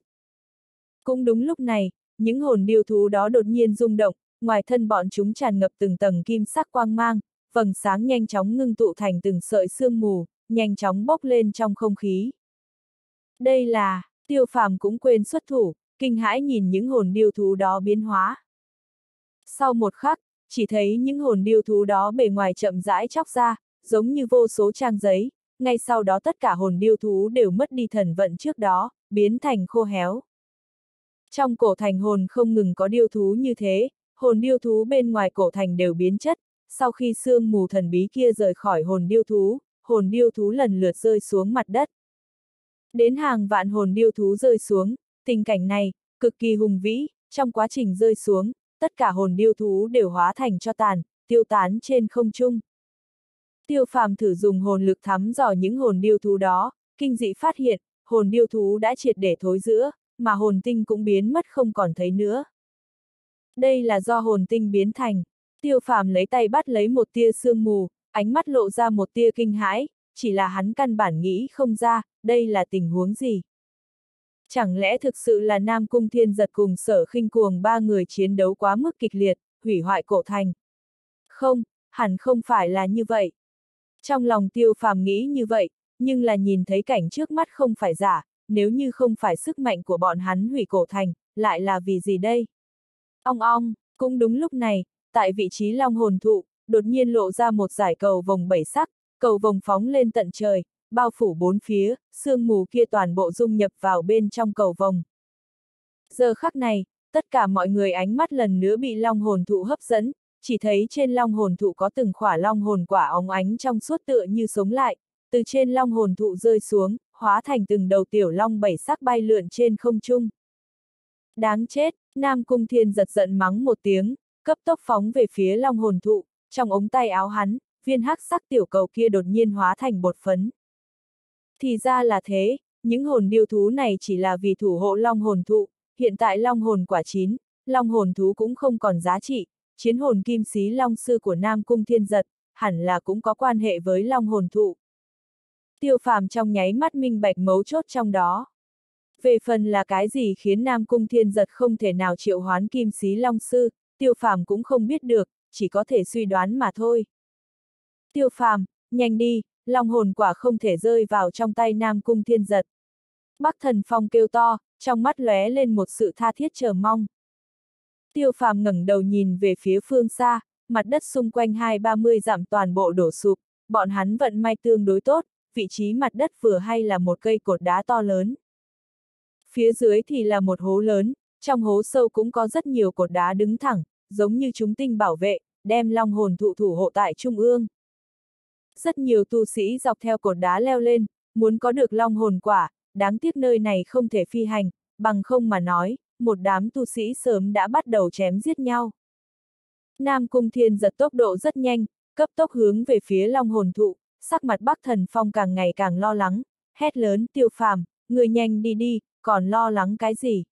Ha ha, Nam Cung Thiên giật, những long hồn quả này, đại long ta muốn. Đột nhiên, một tiếng cười sang sảng từ đằng xa truyền đến, tràn ngập sự cuồng ngạo. Người đại ly đế chiều nhao nhao nhìn về nơi xa, thần sắc vô cùng trầm trọng, ai cũng không ngờ tới người đại long đế chiều vậy mà lại quay lại. Hoặc có lẽ là bọn hắn căn bản chưa rời đi bao xa, vẫn luôn âm thầm ẩn núp, vừa nhìn thấy tất cả hồn điêu thú hóa thành cho bụi, bọn hắn lại xông lên lần nữa. Lão Tam, đây là, một đạo hắc ảnh lướt qua không trung, xông thẳng về phía tiêu phàm, bàn tử rơi xuống bên người tiêu phàm, trên người tràn ngập một cỗ cuồng bá chi khí. Lão nhị, người đột phá. Tiêu phàm kinh dị nhìn bàn tử nói, từ đáy lòng vô cùng vui vẻ. Người đi cướp đoạt long hồn quả, nơi này giao cho ta. Bàn tử hít sâu một hơi nói. Tiêu phàm ngẩng đầu liếc mắt nhìn tu sĩ đại long đế triều ở nơi xa, cuối cùng gật đầu, trong tay bỗng xuất hiện ba cái long văn kim châm, đưa cho lâu ngạo thiên ba người nói, nếu có người ra tay với các ngươi, đem kim châm cắm vào vị trí hồn hải, sẽ khiến cho các ngươi có sức tự vệ trong thời gian ngắn. Nói xong, cũng không đợi mấy người phản ứng, tiêu phàm liền lách mình xuất hiện ở trên lưng tiểu minh. Long hồn quả rất kỳ diệu, mặc dù chỉ là bát phẩm linh quả nhưng ẩn chứa hồn lực cực kỳ to lớn, có thể giúp tu sĩ dưới chiến đế cảnh phía đột phá một tiểu cảnh giới. Hơn nữa, còn có cơ hội rất lớn lĩnh ngộ một loại ý cảnh, đối với chiến hoàng cảnh trở lên mà nói, nhất định chính là thần vật hiếm có. Chỉ là long hồn quả quá hiếm có, hơn ngàn năm cũng chưa chắc có thể nhìn thấy một gốc, trong cổ địa bí cảnh chỉ có thể nhìn thấy một cây, dù sao long hồn quả chín cần hồn lực và thiên địa linh khí cực kỳ khổng lồ. Nhìn long hồn quả phi nhanh trong không khí, tất cả tu sĩ đều nhiệt huyết sôi trào, nhất là tu sĩ đại long càng kích động hơn, bởi vì bọn họ nắm giữ hồn thú loài chim, có ưu thế hơn. Đây cũng là nguyên nhân long tiêu vì sao cản rỡ, tự ngạo như vậy, tu sĩ đại ly muốn đoạt long hồn quả với bọn họ, nhất định là trò cười. Tất cả mọi người nghe đậy, cho dù không giành được long hồn quả, chỉ cần ngăn người đại ly lại cũng coi như một phần công lao. Long tiêu nhìn đám tu sĩ đại ly đang bay lên, cười lạnh không thôi. Rõ, rất nhiều người nghe vậy cũng không tham dự vào việc tranh đoạt long hồn quả nữa, ngược lại chạy về hướng tu sĩ đại ly. Trước đó bởi vì Nam Cung thiên giật, tu sĩ đại long tử thương vô số, bây giờ chỉ còn lại chừng phân nửa, trong số người chết đi có thể không ít người là huynh đệ tỉ muội của bọn họ. Bọn hắn trong thời gian ngắn không giết chết được Nam Cung thiên giật, nhưng đối phó với đám tu sĩ kia vẫn không thành vấn đề. Ân, đột nhiên, Long Tiêu cau mày một cái, trong mắt lóe qua một vòng lãnh quang, Tiêu Phàm vẫn chưa chết. Hồn thú Tiêu Phàm đang cưỡi hình như là cửu giai huyết mạch ám dạ minh chuẩn. Một tu sĩ bên cạnh Long Tiêu vội vàng mở miệng nói. Ha ha, thật đúng là ám dạ minh chuẩn, đáng tiếc chỉ là chiến hoàng cảnh. Long Tiêu cười ha ha một tiếng, nhìn Tiêu U bên cạnh, U Nhi, hồn thú này chút nữa ta bắt cho nàng. Tiêu U lắc lắc đầu nói, đa tạ ý tốt của đại đế tử, hồn thú của tiêu phàm không phải cướp dễ dàng như vậy. Chỉ cần U Nhi nàng thích, cho dù là sao trên trời, bản đế tử cũng có thể hái cho nàng. Long tiêu cười một tiếng, trên người toát ra một sự tự tin vô cùng. Nếu như trước đó không phải kiêng kỵ hồn điêu thú quá đông, hắn căn bản sẽ không chạy trốn, dù là đấu một trận với Nam Cung Thiên giật hắn cũng dám, huống chi là một tên tiêu phàm. Chiến đấu trước đó hắn cũng nhìn trong mắt, tiêu phàm so với Nam Cung Thiên Giật còn không bằng, hắn lại như thế nào lợi hại cũng chỉ là một chiến hoàng cảnh trung kỳ mà thôi. Huống chi, tiêu phàm giết chết mấy người trong đại long bát tử, long tiêu cũng đã sớm muốn giết chết tiêu phàm. Để lại một câu nói, long tiêu liền dẫm lên ám dạ ma giao phóng về phía tiêu phàm, tiêu u trên mặt lóe lên một nét cười không nhìn rõ.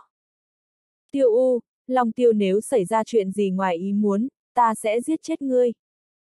Nơi xa, đáy mắt Long Thần lóe lên một tia lạnh lùng, hắn thực sự không biết Tiêu U có điểm gì tốt, vậy mà lại khiến Long Tiêu mê muội như vậy. Tiêu U giống như bị một con độc xà tiếp cận, chậm rãi quay đầu đi, lại nhìn thấy Long Thần ngồi trên lưng một con hồn thú bay về hướng Long hồn thụ.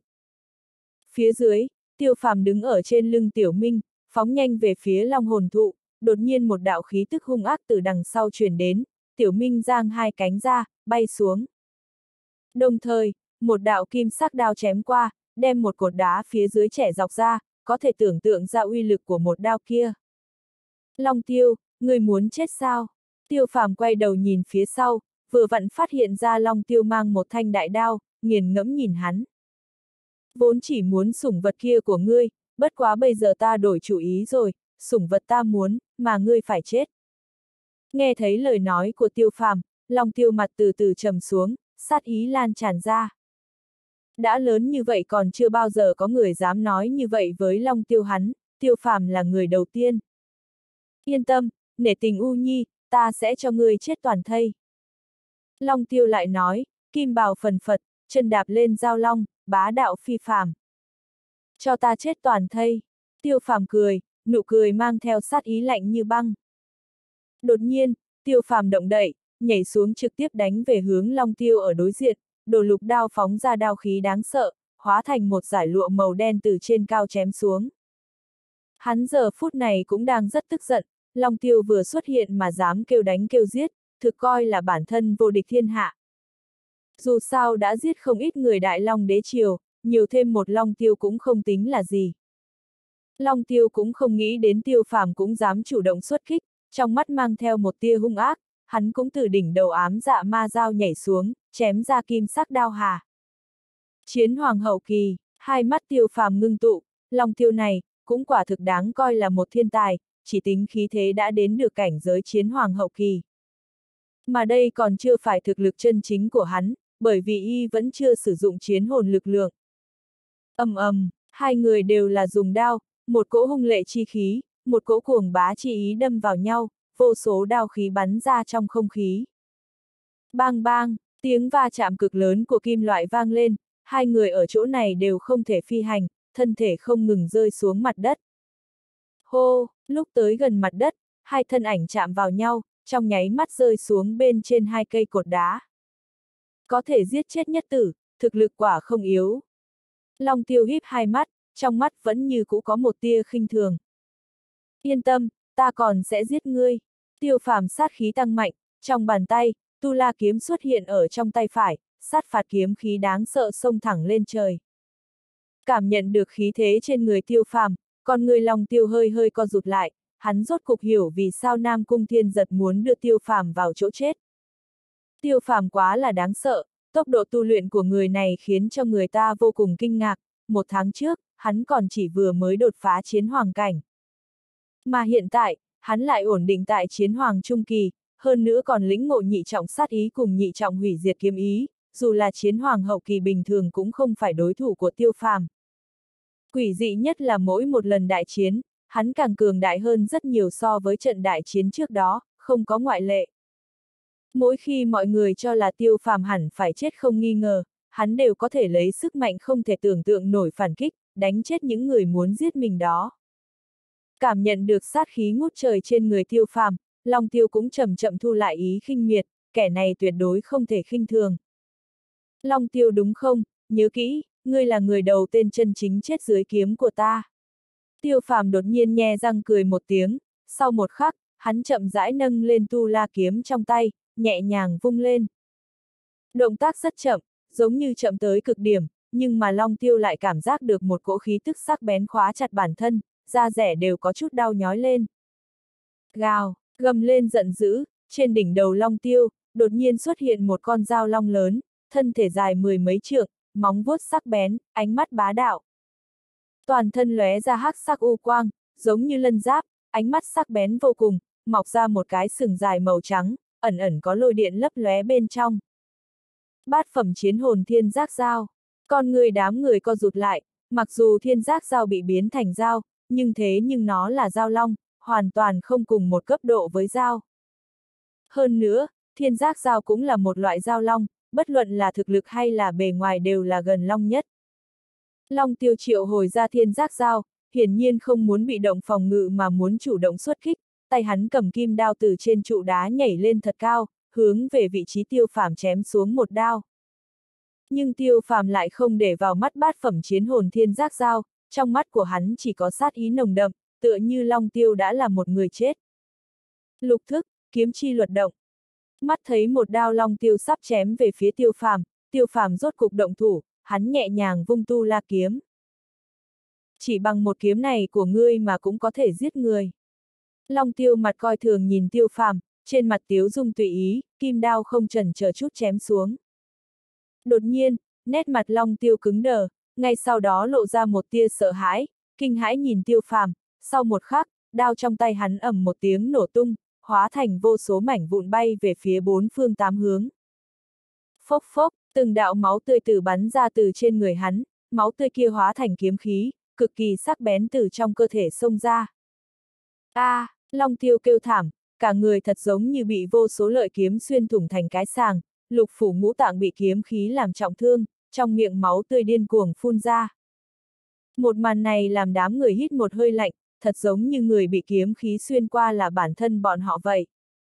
Đây chính là long tiêu đó, lại bị tiêu phàm thiếu chút nữa một kiếm chém giết. Đại đế tử, tu sĩ đại long đế triều kêu to, không ít người khống chế hồn thú gào thét hướng về phía tiêu phàm.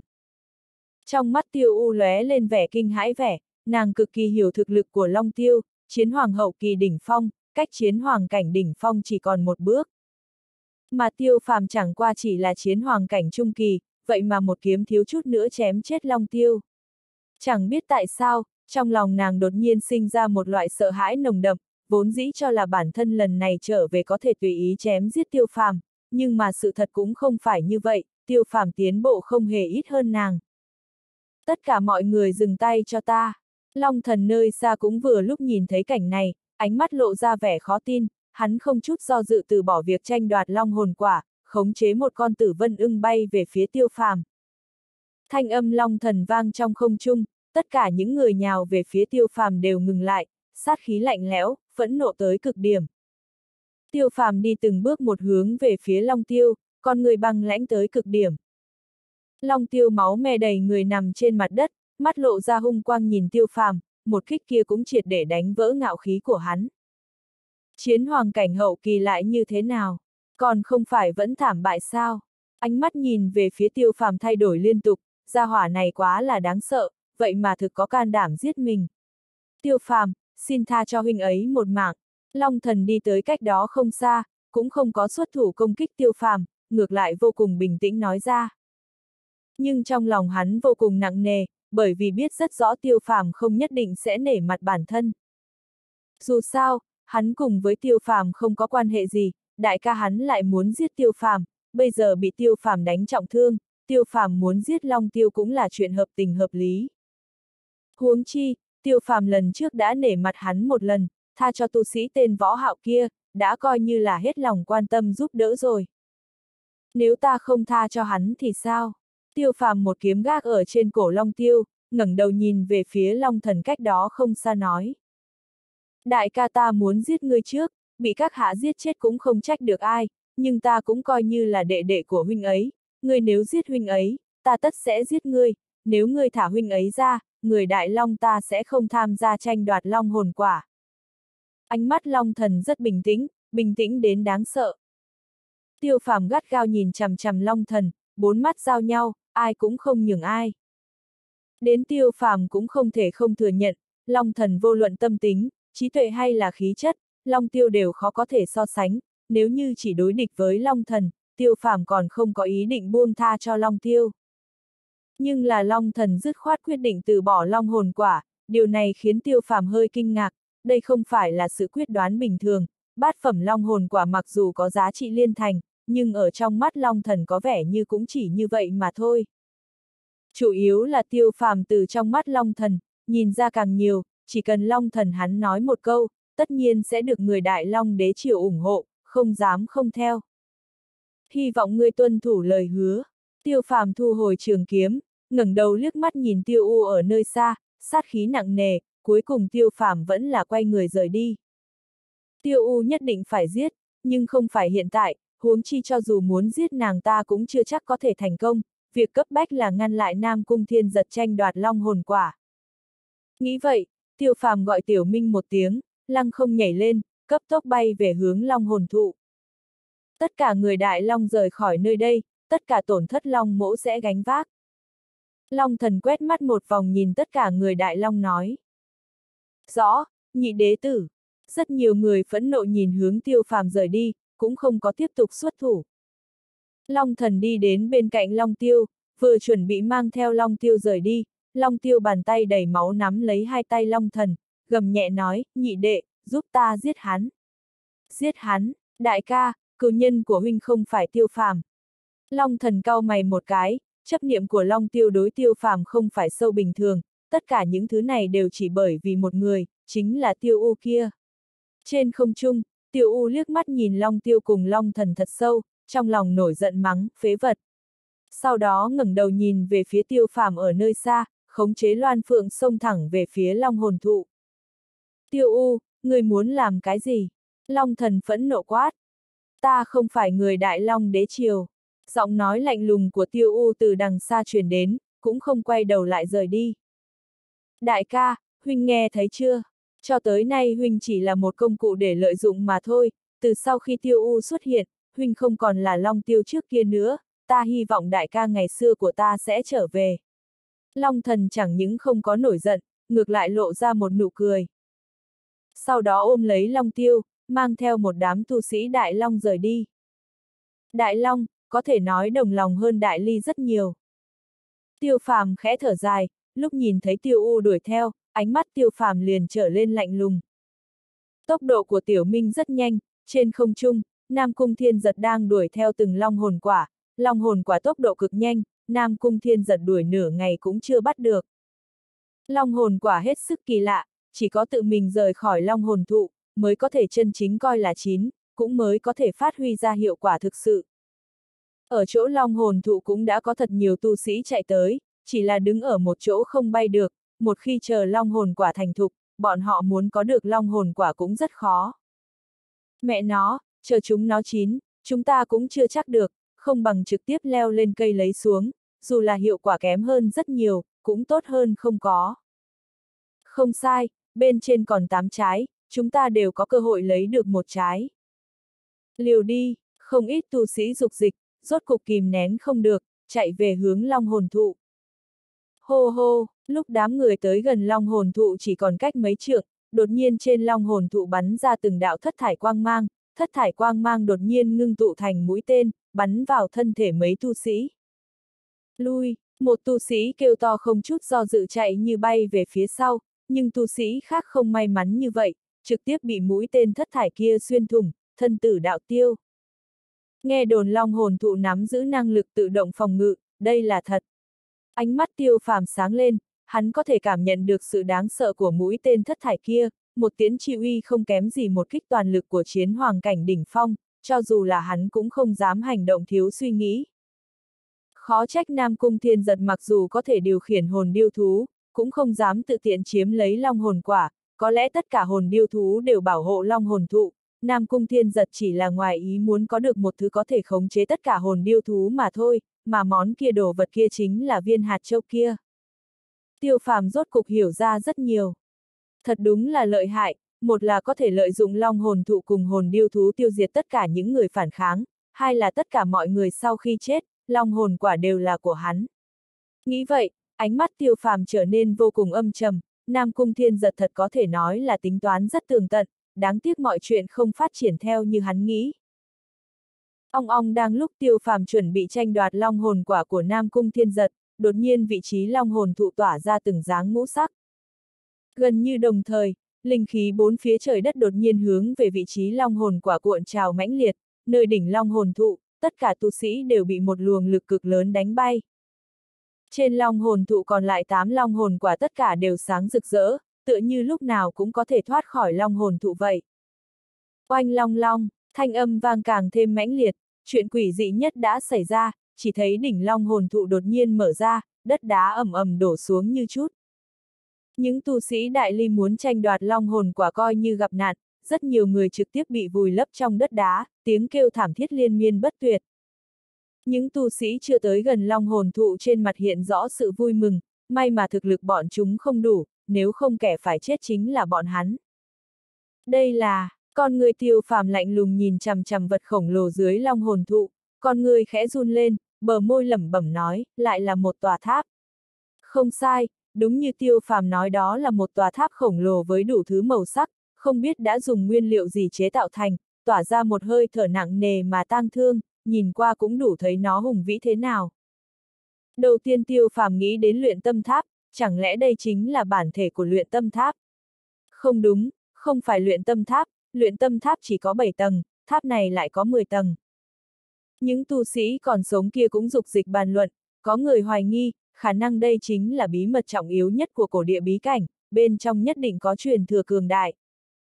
Truyền thừa thiên cơ môn là của ta, là của ta. Nam Cung Thiên giật cười lạnh nhìn đám người phía dưới, trong lòng hắn gào thét, dựa theo truyền thừa nói, người thứ nhất được long hồn quả có thể trực tiếp tiến vào tầng thứ 9, chỉ cần xông vào thêm một tầng nữa là có thể có được truyền thừa. Không ai biết trong lòng Nam Cung Thiên giật vô cùng sốt ruột, bởi vì chỉ có hắn mới biết rõ trong này là thứ gì.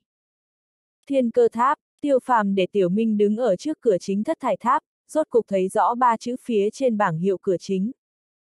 Gần như đồng thời, tiêu phàm cấp tốc tìm kiếm ký ức liên quan tới thiên cơ tháp bên trong tu la truyền thừa, cái này không tìm còn tốt, vừa tìm thấy nội tâm tiêu phàm liền bị nhấc lên kinh đào hải lãng.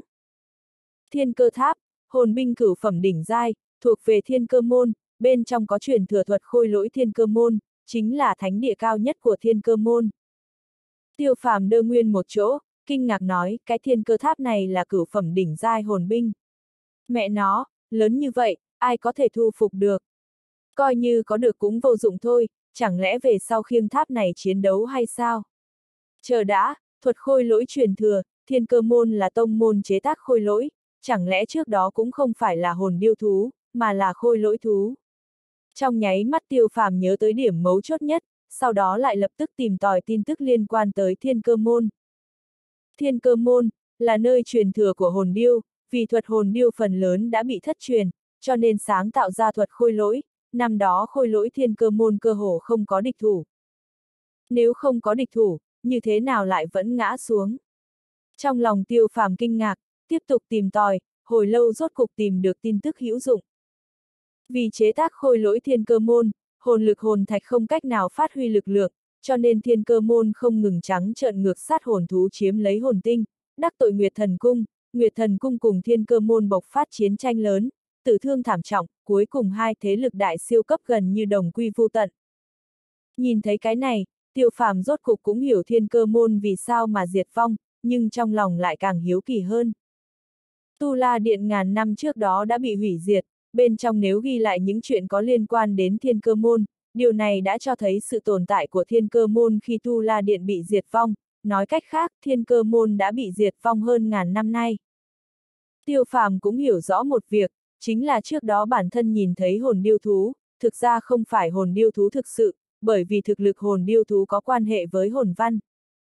Hơn nữa, hồn điêu thú chân chính chỉ cần hồn thạch liền có thể phát huy lực lượng, hồn điêu thú vừa rồi tất cả đều là dùng hồn tinh thôi động, nên tất cả đều là khôi lỗi thú, chỉ là làm ra vô cùng giống như thật mà thôi.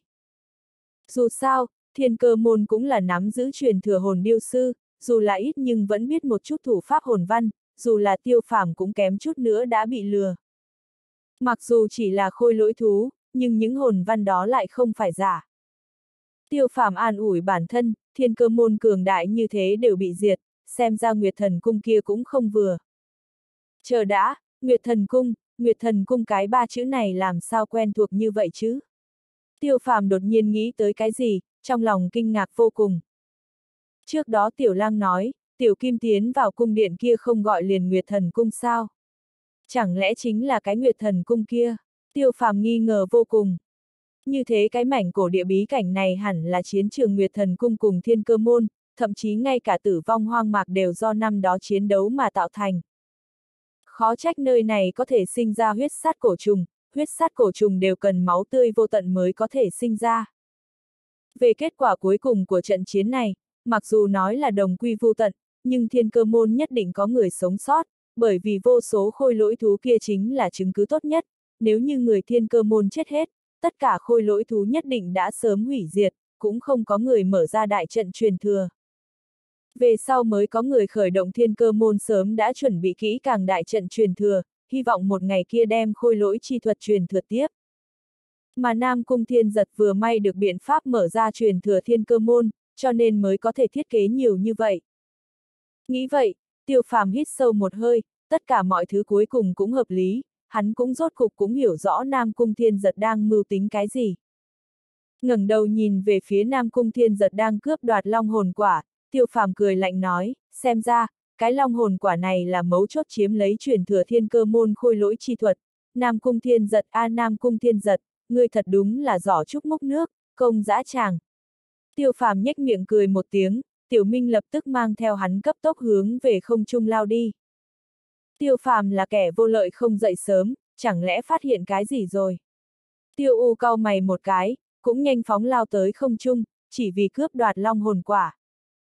Hừ, muốn theo bản đế tử đoạt long hồn quả. Nam Cung Thiên giật vẫn bộ dáng cao cao tại thượng, hoàn toàn khinh thường tiêu phàm, thời khắc tiêu phàm sắp tới gần, Nam Cung Thiên giật bỗng tăng tốc, lấy tay chụp lấy viên long hồn quả. Hồng hộc, đúng lúc này, một đạo kiếm khí xông thẳng đến Nam Cung Thiên giật, thân hình Nam Cung Thiên giật cấp tốc rút lui, sát ý nặng nề, vẫn nộ quát tiêu phàm. Người muốn long hồn quả sao? Tiêu phàm không nhìn Nam Cung Thiên giật, tu la kiếm rung động, một đạo lợi mang vung ra, muốn hủy long hồn quả. Mặc dù hắn không biết long hồn quả đến cùng có làm được cái gì, nhưng cũng không muốn để cho Nam Cung Thiên giật có được. ầm, um, một tiếng nổ vang, kiếm khí trực tiếp chạm lên long hồn quả, điều khiến tiêu phàm ngạc nhiên là, long hồn quả căn bản không có phá toái, ngược lại bị kiếm khí đụng bay, vọt thẳng vào trong ngực Nam Cung Thiên Giật. Ha ha, tiêu phàm, xem như ngươi giúp bản đế tử được long hồn quả, nên một lúc nữa ta mới giết ngươi. Nam Cung Thiên Giật cười ha ha, một ngụm đem long hồn quả nuốt vào trong bụng, chân hắn phi cầm xông thẳng đến thiên cơ tháp. Mẹ hắn, long hồn quả vậy mà cứng như thế. Tiêu phàm sắc mặt tái nhợt, trong lòng hết sức khó chịu, giận mắng không thôi, lập tức quát to một tiếng, tiểu minh, đuổi theo hắn cho ta. Tốc độ tiểu minh mặc dù rất nhanh nhưng phi cầm dưới chân Nam Cung Thiên Giật tốc độ cũng không chậm, mấy hơi thở, Nam Cung Thiên Giật đã vào gần thiên cơ tháp. Kiếm chi luật động, tiêu phàm không chút do dự thi triển ra một kiếm mạnh nhất, hư không kiếm khí chiến minh, thật lâu không dứt. Nam Cung Thiên Giật quay đầu cười lạnh, sau đó một cước đạp ở trên lưng cái phi cầm kia, tăng tốc vào tới thiên cơ tháp. Cái tên Nam Cung Thiên Giật này không muốn sống nữa sao? Tiêu U lấp lóe đôi mắt đẹp. Cái này giống như ý nghĩ tiêu phàm, Nam Cung Thiên Giật dù sao cũng là đại ly đế triều cùng tuổi một đời đệ nhất nhân cơ mà, tất yếu tự tàn sao.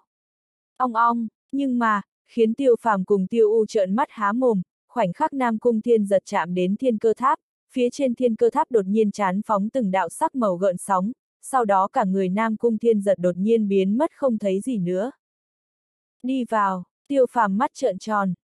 Hô, thời khắc tiêu phàm thất thần, một đạo băng hàn chi khí từ phía sau hắn đánh tới, tốc độ nhanh vô cùng, hồn lực tiêu phàm cường đại biết bao, tự nhiên đã sớm phát hiện. Chỉ là hắn không thể lui, một khi lui ra phía sau, tiểu minh tuyệt đối sẽ phải chịu công kích chí mạng. Thiên địa tiêu sát, tàn dương huyết, tiêu phàm cũng không quay đầu lại gầm thét một tiếng, trong chớp mắt phung ra hai kiếm. ầm ầm, hư không kiếm khí tung hoành, một cỗ hàn ý băng lãnh giống như đông kết hư không. Tiêu U, người đã tự tìm cái chết, ta sẽ cho ngươi toại nguyện. Tiêu phàm thấy rõ người tới, giận dữ nói, ta còn chưa tìm tiêu U ngươi gây phiền phức, vậy mà ngươi lại dám chọc tới ta. Hôm nay, đám rác rưởi này không giết chết ngươi, chỉ có mình ta động thủ.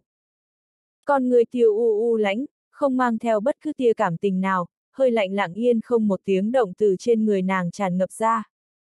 Thật đúng là khẩu khí lớn. Tiêu phàm cực kỳ kinh ngạc trước sự tự tin của tiêu u, chẳng lẽ ngay cả Nam Cung Thiên Giật cùng Long Tiêu ở trong mắt nàng cũng chỉ là phế vật. Hoặc là, tiêu phàm ta trong mắt người cũng chỉ là phế vật thôi sao? Tiểu Minh, tấn công con loan phượng kia. Sát tâm tiêu phàm nổi lên, hắn cảm thấy tiêu u hiện tại rất không đơn giản, lúc này không giết nàng, lần sau muốn giết nàng sẽ rất khó. Cứu, tiểu minh quát trói tai một tiếng, như là một đạo tia chớp màu đen, xông thẳng loan phượng mà đến, hai cánh giống như hai thanh thiên đao rơi xuống. Phốc, loan phượng phát ra âm thanh thê lương thảm thiết, sau đó máu tươi từ thân ảnh tiêu u bay ngược ra, giống như một chim yến, vững vàng rơi trên một đầu trụ đá. Làm sao, người không muốn long hồn quả? Tiêu U băng lãnh cười một tiếng. Hiện tại, ta chỉ muốn giết ngươi. Tiêu phàm lạnh lùng vô cùng, chân nhảy vọt lên, trong nháy mắt đi tới trước người tiêu U, khắc nghiệt chi khí tràn ngập bốn phía. Tiêu U thấy thế, thần sắc vô cùng băng lãnh, dưới chân nàng đột nhiên toát ra từng đợt hàn khí hướng về bốn phía. Khắc nghiệt chi khí cùng hàn khí đâm vào cùng một chỗ, phát ra âm thanh va chạm kịch liệt, tiêu phàm lúc này mới phát hiện, không trung đông kết thành một tầng hàn băng thật dày. Chiến hoàng trung kỳ, băng hàn chi ý thật sự sợ. Trong lòng tiêu phàm khẽ hơi trầm xuống, không dám khinh thường tiêu u. Không đến một năm trước, không chỉ tiêu phàm hắn đột phá đến chiến hoàng trung kỳ, tiêu u cũng đạt tới cảnh giới này, hơn nữa đối phương lĩnh ngộ băng hàn ý cảnh cực kỳ đáng sợ. Tiêu phàm, không nghĩ tới ngươi sẽ trưởng thành nhanh như vậy, thế nhưng kẻ yếu chủ định vĩnh viễn là kẻ yếu. Ngữ khí tiêu u vô cùng bình thản, ở trong mắt nàng, tiêu phàm nghiễm nhiên chính là một kẻ đã chết.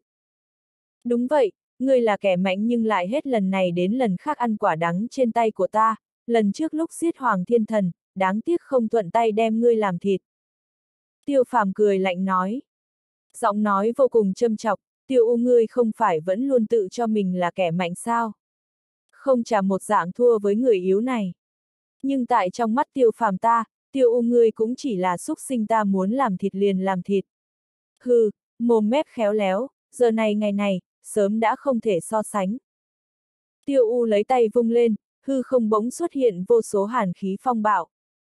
Hàn khí mặc dù khí thế so ra kém kiếm khí, nhưng lại trình độ sắc nhọn lại không kém chút nào, phà vào trên mặt người giống như đao cắt vậy.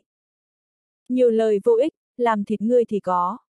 Sát ý của tiêu phàm bành trướng, thân ảnh hắn dường như dung nhập bên trong hàn phong, kiếm khí tàn phá bừa bãi cùng hàn khí đụng nhau. Hàn lưu phong bạo diệt, nhìn tiêu phàm đánh tới, tiêu u cũng không bình tĩnh, trong tay xuất hiện một chuôi hàn băng chi kiếm, lăng không vạch một cái, hàn khí đầy trời bỗng thực chất hóa, biến thành vô số hàn băng kiếm. Tất cả hàn băng kiếm đều khóa chặt lấy tiêu phàm, tiếng rít phá không vang lên cực kỳ chói tai, từ đằng xa nhìn lại, vị trí tiêu phàm cùng tiêu u, tất cả đều biến thành thế giới lạnh lẽo. Nhị ca, tam ca hắn. Nơi xa, thần sắc quan tiểu thất cứng lại, ánh mắt lộ ra vẻ lo lắng. Yên tâm, lão tam không có việc gì. Bàn tử lắc lắc đầu nói, về thực lực tiêu phàm hắn không quá lo lắng, trong đồng giai, hắn còn chưa thấy tiêu phàm thua bao giờ. Sau đó bàn tử ngẩng đầu nhìn về phía xa long hồn thụ, nói, sở khinh cuồng, bắc thần phong, lâu ngạo thiên, thương thế các ngươi khôi phục như thế nào rồi? Chết không được. Bắc thần phong cười khổ nói, sở khinh cuồng cùng lâu ngạo thiên cũng gật đầu. Tám long hồn quả kia bất cứ lúc nào cũng có thể thành thục, nếu các ngươi không có vấn đề, vậy thì đi thôi. Bàn tử hít sâu nói, Nam Cung Thiên giật tiến vào thiên cơ tháp, trong lòng hắn không phải rất an bình. Đi! Bắc thần phong gật đầu, mấy người nhao nhao lao hướng về long hồn thụ. Bàn tử, quan tiểu thất, phong lang, ảnh phong, bắc thần phong, lâu ngạo thiên cùng sở khinh cuồng, lại thêm tiêu phàm, vừa vặn có 8 người, đương nhiên, đây chỉ là ý nghĩ bản thân mấy người bọn hắn. Chỉ ít, nơi xa y phi mạch cũng không chút do dự sông lên, lòng hồn quả, ai cũng không muốn bỏ lỡ. Oanh, nơi xa, hàn băng chi khí nổ tung, kiếm khí đáng sợ gào thét ra, ngay sau đó, một đạo kiếm khí hư ảnh to lớn từ trong gió lốc phóng tới không trung. Cửu phẩm chiến hồn, băng dực thánh lang, đám người đang hướng về long hồn thụ tới gần, nhìn thấy trên không trung đạo hư ảnh to lớn kia, ánh mắt lộ ra một tia kinh ngạc. Một đầu hàn băng cự lang dài 7-8 trượng, hai bên mọc ra một đôi cánh khổng lồ, quanh thân hàn khí bốc lên, nhiệt độ bốn phía bỗng hạ thấp hơn mấy chục độ. Tiêu U đứng ở mi tâm băng phách cự lang, một vẻ lãnh ngạo, quan sát tiêu phàm, lạnh lùng nói, hiện tại ngươi rốt cục biết rõ sự tranh lệch giữa ngươi và ta. Ngay cả ngự không phi hành còn không làm được, muốn giết ta. Đúng là chuyện cười. Đây chính là sức mạnh của ngươi. Tiêu phàm không những không giận mà còn cười, vô cùng khinh thường, nụ cười không có bất kỳ gượng ép này hoàn toàn phát ra từ nội tâm. Ngươi cười cái gì? Trong lòng tiêu u hơi trầm xuống, nàng rất khó chịu điệu cười của tiêu phàm. Cười ngươi vô chi, tiêu phàm cầm trường kiếm trong tay, nhìn thấy tiêu u triệu hồi ra cửu phẩm chiến hồn băng dược thánh lang, nỗi lo lắng trong lòng tiêu phàm ngược lại biến mất không thấy gì nữa. Hừ, ra vẻ thâm trầm sao? Bất luận như thế nào, hôm nay ngươi hẳn phải chết. Trong mắt tiêu u lóe ra hàn mang, cả người đáp xuống, một cỗ cảm giác áp bách cực lớn xông thẳng đến tiêu phàm. Nhưng ngay lúc này, bên trong hư không, đột nhiên tràn ngập một cỗ sát ý đáng sợ, bao phủ hư không, khiến nội tâm nàng run lên. Thật mạnh, đây là sát phạt chi ý. Lúc tiêu u lấy lại tinh thần, lại nhìn thấy cả người tiêu phàm đột nhiên đạp không lên, phía sau hắn, một đôi cánh khổng lồ đen đang phe phẩy, tốc độ nhanh vô cùng. Hắn có thể bay. Tiêu phàm bay lên, đám người kinh ngạc nhìn lên hư không, không khỏi xoa xoa hai con mắt, nơi này không phải áp chế cực lớn đối với tu sĩ sao? Tại sao có thể ngự không phi hành? Mặc dù có thể cách mặt đất thời gian ngắn, nhưng tốc độ tương đối nhiều nhất cũng chỉ ở thân pháp chiến kỹ mà thôi, tuyệt đối không có khả năng nhẹ nhàng như vậy, cũng không có khả năng nhanh như vậy. Không ai có thể kinh ngạc hơn tiêu u, nàng sở dĩ tự tin như vậy, là bởi vì ở chỗ này nàng ta có thể ngự không phi hành, có thể ăn đứt tiêu phàm. Đâu nghĩ đến, tiêu phàm căn bản không bị nơi này áp chế, vậy mà cũng bay lên. Người thất thần. Tiêu phàm đạm mạc cười một tiếng, tu la kiếm nhộn nhạo từng đạo gợn sóng, hư không phát ra từng đợt âm thanh chiến minh, tựa như vô số trường kiếm đang tề minh. Cũng không phải tiêu phàm có thể bay thật, mà là u linh chiến hồn có thể tùy ý biến hóa, tạm thời biến thành một đôi cánh mà thôi, cho tới nay tiêu phàm đã có thể sử dụng, chỉ là không muốn bại lộ mà thôi. Dù sao, có thể phi hành ở chỗ này, có thể nói là một đại vương bài, một khi bị người khác phát hiện, ai biết có thể nhằm vào mình hay không. Lại là một kiếm này, tiêu u biến sắc, trước đó nàng thấy rõ ràng, Long tiêu chính là bị một kiếm này kém chút chém giết. Tiêu u không cho rằng, ta đáng chết muôn lần. Tiêu u, ta trước nay chưa bao giờ giết nữ nhân, người rất thành công, là một người khiến ta nằm mơ thôi cũng muốn giết. Tiêu phàm nhe răng cười một tiếng, trong tay không trần chờ chút nào. Kiếm chi luật động, lại là một kiếm này, lần này càng điều động toàn thân hồn lực chém ra, càng dẫn ra lực lượng vô tận chiến hồn, khí thế gần như nhảy lên tới đỉnh điểm. Tiêu phàm, người sẽ chết rất thảm, cả nhà ngươi đều chết không yên lành. Tiêu U ngửa mặt lên trời cười to, gần như điên cuồng, biết rõ tiêu phàm bất luận như thế nào đều sẽ không bỏ qua nàng, nàng chỉ có thể dốc lực đánh cược một lần. Thật đúng là nữ nhân ác độc, ngươi không phải cường giả sao? Ở trước mặt ta, cường giả này của ngươi cũng chỉ như chó trong nhà có tang đang gầm rú lên thôi. Thần sắc tiêu phàm băng lãnh. Chính như lời ngươi nói, thật đúng là xưa đâu bằng nay, tiêu u ngươi so với trước kia càng thêm không chịu nổi. Tu la kiếm trong tay tiêu phàm bỗng rung động, vô số kiếm khí rảo sát lấy băng dược thánh lang. Sát phạt kiếm khí, hủy diệt kiếm khí khủng bố tới cực điểm, lại tăng thêm lực thôn tính u linh chiến hồn, băng dược thánh lang căn bản ngăn cản không nổi bao lâu. Tiêu U tự cho là thức tỉnh cửu phẩm chiến hồn băng dược thánh lang liền có thể không coi ai ra gì, thế nhưng ả lại không biết, tiêu phàm đâu còn là một tên chiến sư cảnh năm đó. U linh chiến hồn đột phá đến thất giai không nói, hắn lại còn đạt đến vô tận chiến hồn, bất luận điểm nào đều không kém gì tiêu u nàng. Chủ yếu là về ý cảnh lĩnh ngộ tiêu phàm cũng không mảy may yếu hơn tiêu u nàng. Ngân dực thiên trảm, mặc dù bị tiêu phàm áp chế, tiêu u vẫn có thực lực đánh cược một lần, thanh âm theo nàng vang lên, hai bên cánh băng dực thánh lang hóa thành hai thanh thiên đao gắng sức chém xuống. Mấy chục trượng đao mang che khuất bầu trời, đâm vào khiến cho người ta không tài nào mở mắt ra được, băng hàn chi ý lạnh lẽo càng là nhiếp nhân tâm phách. Dù là bị u linh chiến hồn bao tỏa, đám người cũng có thể nhìn thấy hai đạo tia chớp màu trắng tại chỗ trong bóng tối ghé qua, giống như lôi điện xẹt qua vậy. Tiêu phàm đứng lơ lửng trên không, sắc mặt vô cùng bình tĩnh, con người hắn rất băng lãnh, toàn thân bắt đầu thiêu đốt lên kim sắc hỏa diễm, sau một khắc, cả người hắn dường như biến thành một thanh kiếm. Thiên nhân hợp nhất, tiêu phàm lần nữa tiến vào cảnh giới thiên nhân hợp nhất, trên người hắn tỏa ra hủy diệt chi ý đáng sợ, nếu người ngoài nhìn thấy, nhất định sẽ kinh ngạc không thôi, bởi vì hủy diệt chi ý này đã thực sự ổn định tại nhị trọng. Tàn dương huyết, tiêu phàm khẽ quát một tiếng. Ông, một đạo huyết sắc lợi mang xẹt qua thương khung, tốc độ cực nhanh, giống như một vòng mặt trời máu, đem toàn bộ hư không đều chiếu đỏ rực, giống như nhuộm thành màu máu. Tiêu U chỉ thấy tu la kiếm của tiêu phàm ra khỏi vỏ, vào vỏ. Sau một khắc, một đôi cánh của băng dược thánh lang đột nhiên một phân thành hai, bị huyết sắc tà dương kia xé mở. Nhưng mà việc này cũng chưa phải kết thúc, chỉ thấy huyết sắc tà dương từ mi tâm băng dược thánh lang bắn vào, xẹt qua toàn bộ thân hình nó.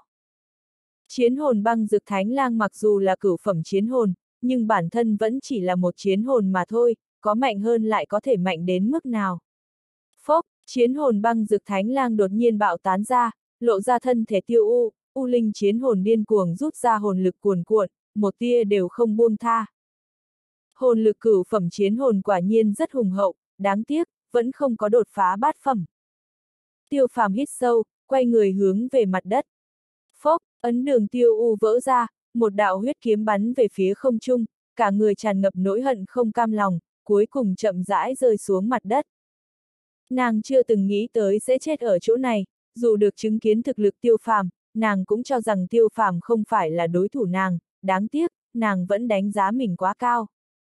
Tiêu U không biết mấy tháng nay, không biết có bao nhiêu người cho rằng có thể tùy tiện ngược sát tiêu phàm, nhưng từ đầu đến cuối đều bị tiêu phàm phản sát hết. Tiêu U nàng tuyệt đối không phải kẻ thứ nhất, cũng tuyệt đối không phải kẻ cuối cùng. Tiêu phàm nhìn cũng không nhìn một cái, từ lần thứ nhất tại gia tộc niên hội lúc nhìn thấy tiêu U, tiêu U chủ định sẽ là phải chết, chỉ là chuyện sớm hay muộn mà thôi. Để cho nàng ta sống nhiều thêm mấy tháng đã là quá đủ rồi. Huống chi, tiêu phàm mặc dù rất muốn giết tiêu u, nhưng nếu như tiêu u không chủ động đánh lén hắn, hắn cũng sẽ không chủ động xuất kích. Bởi vì ở chỗ này địch nhân lớn nhất cũng không phải là tiêu u, mà là Nam Cung Thiên Giật.